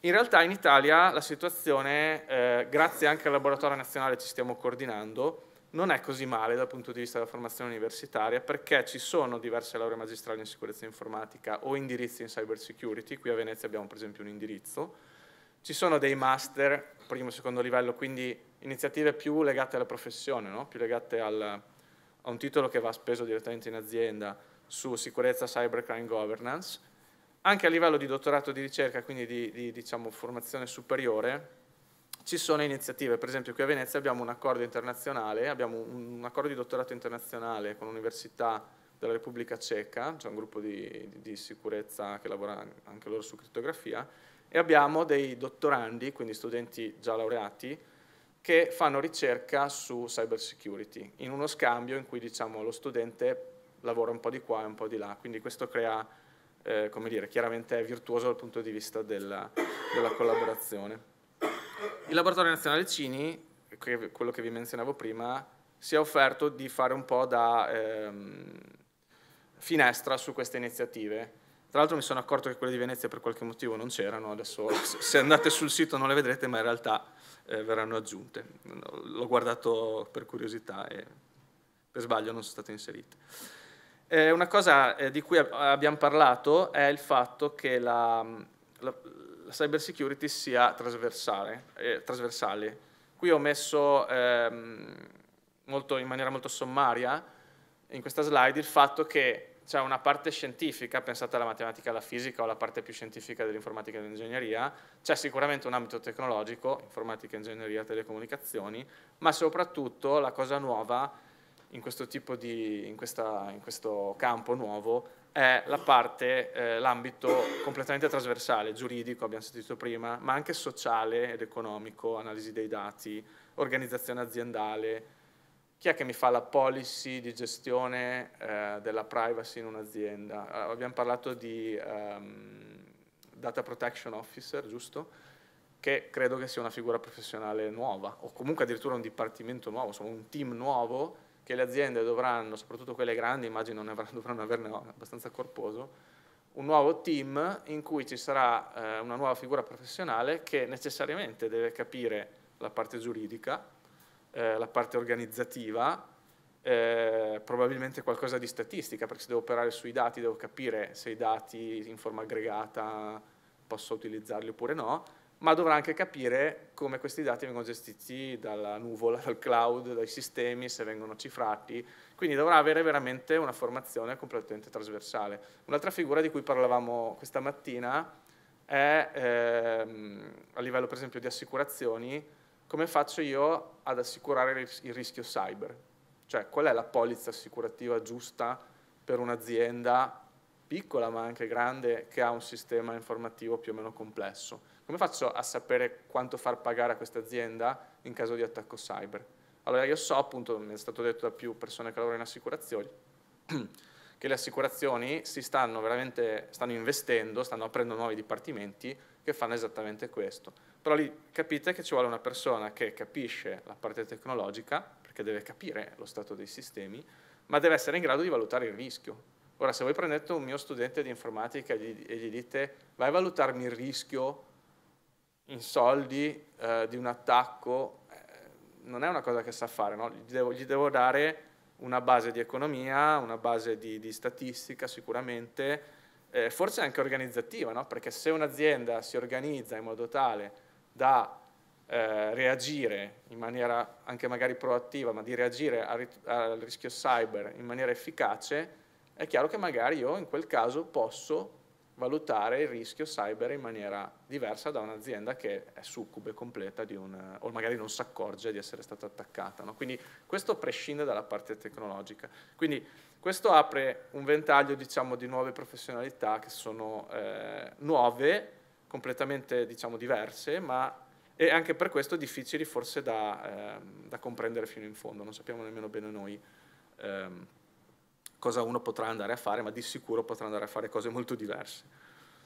Eh, questa, quest'ultima parte eh, della presentazione vi volevo parlare eh, di didattica innovativa. Credo che questo sia importante e mi fa pensare anche all'esempio che ha fatto Stefano dello spazzolino Bluetooth, dove di fatto, eh, io sono anche più vecchio di lui, eravamo abituati a un certo tipo di incentivo o disincentivo, però come sapete i giovani eh, sono più esigenti dal punto di vista del, di quello che gli viene offerto e a livello didattico assicuro che è, è molto cambiata, io insegno insomma da più di vent'anni, la didattica è cambiata perché comunque ci troviamo davanti a ragazzi che devono essere stimolati, eh, se volete anche di più di prima, no? Devo, devono trovare eh, passione nelle cose che fanno in maniera anche più, più variegata, con strumenti nuovi. Quindi la didattica innovativa richiede strumenti e metodi nuovi sicuramente, eh, una particolarità è che se io faccio una lezione, come dicevamo prima, eh, tutta teorica, mi metto in cattedra, dopo 20 minuti ho perso più o meno tutti, devo giocare tra la teoria e la sperimentazione, che a me diverte, però diciamo non è così ovvio, e quindi c'è questo learning by doing, cioè io ti faccio fare qualcosa ed è una scusa per imparare eh, un concetto o per, per prendere una competenza e di questo vi farò dei piccoli esempi fra un attimo. Però la didattica innovativa deve anche essere sul territorio e legarsi in qualche maniera all'industria, cioè eh, deve essere un qualcosa che eh, chiude il gap no, che c'è fra eh, la, la, la, laurea puramente accademica e poi la professione che vado a fare, perché anche questa è una cosa che, che serve, che viene richiesta e che a mio parere è utile. E in questo senso vi volevo parlare brevemente di due cose. Uno è l'hacking etico, ne ha parlato prima il rettore, le ha accennate entrambe il rettore, con queste cose che si chiamano Capture the Flag, queste gare di, di hacking. E l'altra è la Cyber Challenge, che è un'iniziativa sempre basata sul discorso dell'hacking etico ed è appunto eh, supportata dal laboratorio nazionale e, e, ve ne parlo perché diciamo è sta accadendo adesso, è una cosa su cui stiamo lavorando in questo momento. Adesso la mia presentazione diventa più uh, cool, come direbbero, perché l'ha fatta in realtà eh, Marco, che essendo più giovane di me, è più bravo di me a fare queste cose. La... quindi le slide sono migliori non perché le ho fatte io meglio, ma perché le ha fatte qualcun altro. Eh, questo è un uh, uh, Capture the Flag, cioè una gara di uh, hacking internazionale, in questo caso, organizzata da Facebook. Questa è la, è, la, è la, piattaforma di Facebook. C'è scritto anche Google perché in realtà anche Google ne ha organizzato uno. Questo è per dirvi che eh, questo tipo di competizione sta diventando un business serio perché aziende come Facebook e Google ci investono e, e stanno eh, creando le loro piattaforme per farlo. Eh, perché diciamo un capture the flag, poi vi dico meglio che cos'è, è, è interessante. Intanto è educativo, è una di quelle cose che vi dicevo prima io imparo qualcosa facendola, ok? Io devo, vedrete, risolvere delle challenge oppure attaccare, difendermi e facendo questo necessariamente devo imparare, ok? È una forma di educazione attiva, hm, di active learning. E come dicevamo prima, perché, diciamo, questo è più legato alle aziende, perché le aziende investono su queste cose? Perché come dicevamo prima servono persone eh, brave su, questi, eh, su, questi, su queste tematiche. È un modo per invogliare ragazzi giovani a investire in questo è chiaramente offrirgli delle, de, de, dei giochi, delle, delle, delle, attività che loro possono fare per interessarsi alla materia. Quindi si va poi diciamo, a cercare di colmare quel gap che dicevamo prima.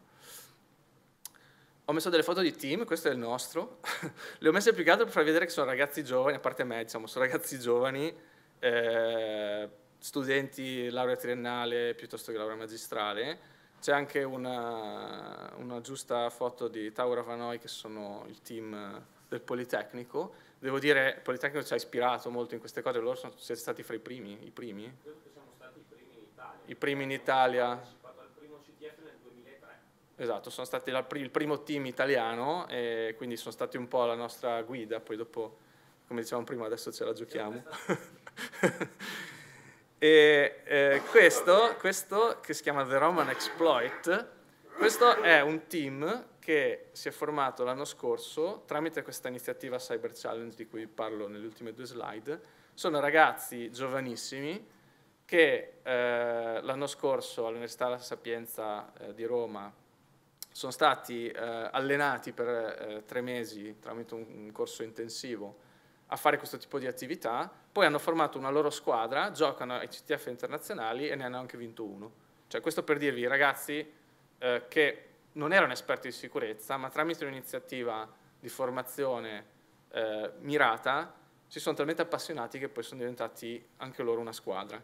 E, e questo diciamo è, se volete, vi ho messo le foto perché da qui capite che questi ragazzi stanno imparando facendo una cosa che è completamente diversa da stare in un'aula e sentire me che parlo, ok? Imparano in modo completamente innovativo e a volte anche autonomamente. Questa è una delle componenti dell'active learning, cioè io ti do l'input e tu studi le cose, te le impari, poi ci rivediamo in qualche maniera tramite lo scambio, ti do una, un, ulteriore, un, ulteriore, stimolo e, e così si va avanti. Questo è sempre una cosa del, una, una, un esempio preso da, dal Polimi, eh, è, un, è, un, esempio di CTF Jeopardy. Che cos'è? Eh, è una, una gara di, di, hacking appunto in cui ci sono delle sfide, cioè dei problemi da risolvere. E vi ho messo delle, queste etichettine eh, per farvi vedere che gli argomenti sono svariati. Si passa dalla crittografia, steganografia all'exploitation, quindi proprio rompere un, un sistema, forensics, ne abbiamo parlato prima, cioè l'analisi eh, anche legale no? di, del, di un'intrusione, puramente programmazione, web, Recon è una cosa che non c'entra niente, diciamo è, eh, se volete, è una cosa trasversale, cioè io devo riuscire a trovare un qualcosa nascosto nel web, quindi usando motori di ricerca, eh, social network, e quindi è quella cosa trasversale che dicevamo prima, la capacità di usare i dati in modo, in modo ehm, diverso, in modo, in modo utile. Eh, l'altro, quindi da un lato sfide da risolvere, problemi molto pratici da risolvere, dall'altro quello più complesso, attacco e difesa, in cui ogni team ha un, un host, quindi un computer che tipicamente è virtualizzato, ma questo non ha molta importanza, contiene servizi e contiene vulnerabilità. Questa è la simulazione di un eh, sistema reale che, come dicevamo prima, tutti i sistemi sono vulnerabili, in cui ci sono vulnerabilità eh, di solito più complesse di quelle che si trovano nei sistemi veri. Perché? Perché vengono inventate da chi queste cose le organizza e la barra diciamo, di, di skills richieste si sta alzando in maniera, in maniera incredibile. Cioè trovate vulnerabilità che sono state pubblicate pochi mesi prima su articoli scientifici riprodotte dentro, eh, dentro questi sistemi, quindi bisogna essere veramente aggiornati su tutto. Qual è il gioco? Il gioco è fixare i bug, ma allo stesso tempo attaccare gli altri, questa è chiaramente la parte divertente, cioè tutti hanno lo stesso host, quando io scopro un bug lo fixo, il bug è lo stesso che ha lui e lo posso, finché lui non l'ha fissato, posso attaccarlo. Okay? Questo funziona con un meccanismo di flags e questo è il motivo per cui si chiama Capture the Flag. Praticamente c'è un sistema centrale che ha delle bandierine, le bandierine sono dei, dei numeri in realtà molto grandi, non, eh, come delle, delle password se volete. Queste bandierine vengono messe nei sistemi, quando io attacco il sistema di un altro perché c'è un bug, gli rubo la bandierina e la bandierina è la prova se volete forense in qualche modo, è la dimostrazione che io l'ho attaccato, quindi quando io consegno la bandierina al check system questo mi dà punti, quindi si tratta proprio di rubare le bandierine alle altre squadre. Chiaramente se io fixo la bandierina non è più rubabile. Ok, quindi vedete che è eh, la simulazione di una guerra, se volete, di una cyber eh, guerra, eh, fatta su sistemi che sono sistemi veri, cioè macchine con sistemi operativi veri, con servizi che simulano applicazioni vere, non sono applicazioni reali, ma sono servizi che in qualche maniera simulano vulnerabilità che sono reali. Quindi qui diciamo la, il gioco è eh, ovviamente anche una scusa per imparare a gestire un sistema, proteggerlo. Eh, I ragazzi che giocano a queste cose qua si sviluppano i loro tool di analisi del traffico di rete, perché quelli esistenti non sono spesso in grado di gestire i gigabyte, che vi assicuro che qua passano gigabyte di dati in, in pochissimo tempo. Se utilizzate un sistema di monitoraggio delle reti standard, collassa, quindi si, si, si sviluppano i loro tool per riuscire a essere più veloci degli altri team. Quindi siamo a questo livello qua di... E capite che in questa maniera io creo degli esperti di eh, cyber security che non potrei mai creare in un'aula spiegando queste cose, perché spesso sanno fare cose che io non so fare, okay? quindi vanno oltre, io gli do l'input ma loro vanno oltre la, la, quello che si può spiegare in un'aula, perché vanno sul campo, è come dire io un laureato poi va in azienda e ovviamente impara una serie di cose che non sapeva e che può imparare solo in azienda, quindi è proprio, è proprio andare in quella direzione là, chiudere il gap tra la teoria e poi le competenze pratiche che servono. Questo qui l'ho messa, è la finale in Russia del, di uno dei CTF eh, più importanti d'attacco e difesa, che è il RUCTF. Questa è, cioè, è una hall eh, a Ekaterinburg in Russia e quelle che vedete sotto sono le squadre che giocano. Ci sono i Cookies, ci sono i Tower of Hanoi di Milano, eravamo, avevamo due squadre italiane in finale, nei primi dieci, che sono andati in Russia a giocarsi la finale e sono su, cioè vedete la location per dirvi diciamo, l'importanza che è data all'evento, quindi immaginatevi anche la sponsorship, e siamo in Russia. E loro dovevano eh, attaccare, in questo caso gli host non erano virtuali, ma erano dei, eh, dei Raspberry Pi, e ognuno, vedete lì al centro, con, eh, ognuno con il suo servizio in rete e questa è la squadra nostra con i loro laptop che dovevano cercare di capire cosa fanno questi servizi, attaccarli eh, e fissarli e attaccare quegli altri, perché tutto questo era in una VPN, in una rete che girava localmente.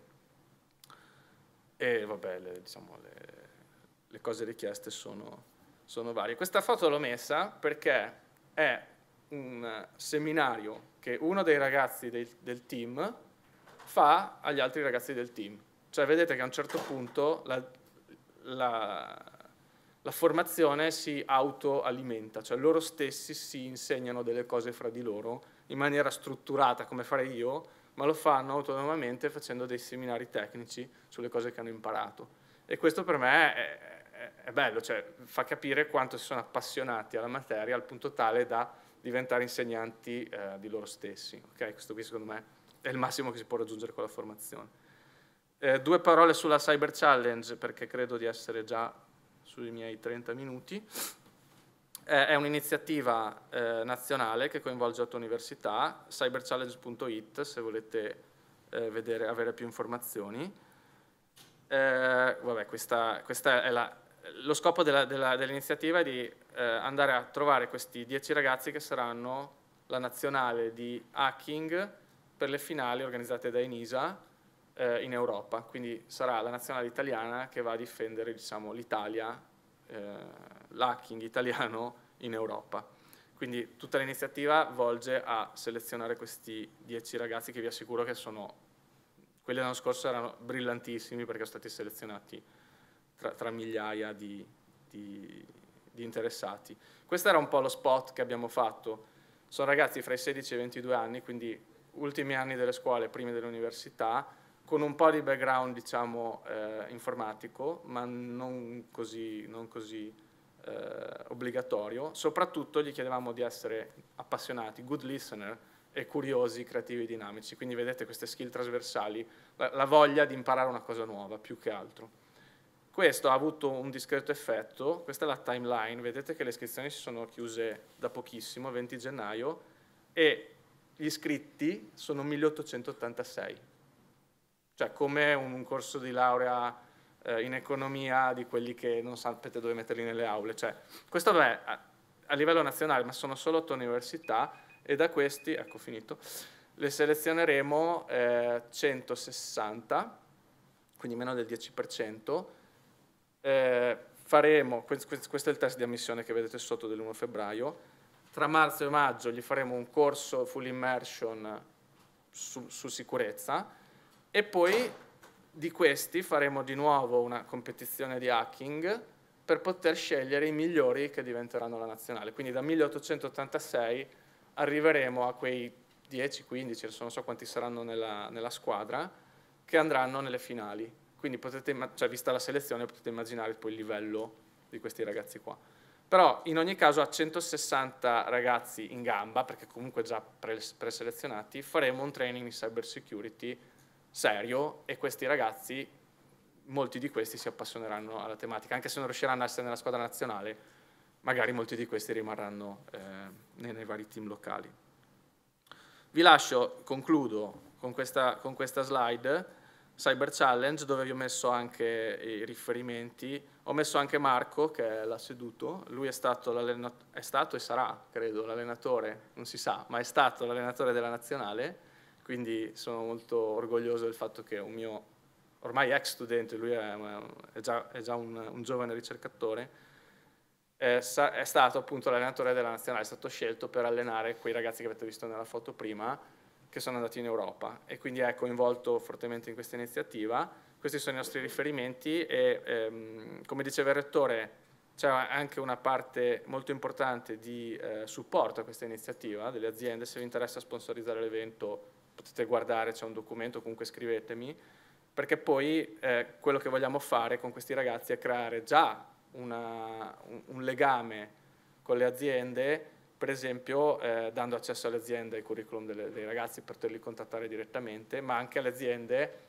a seconda della sponsorizzazione che faranno, presentare, fare una, una presentazione loro dell'azienda eh, nella, per esempio nella, in uno delle, degli eventi che faremo in cui saranno presenti tutti i ragazzi. Quindi quella cosa che dicevo prima di fare eh, training già legandosi al territorio e, e all'industria, alle aziende, è una delle componenti di questa iniziativa.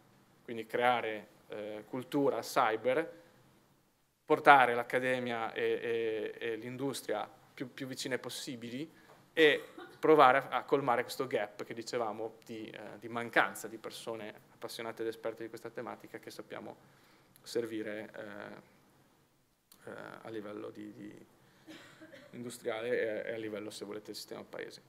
Con questo concludo, vi ringrazio e contattatemi appunto per ogni informazione aggiuntiva. Grazie anche di essere venuti.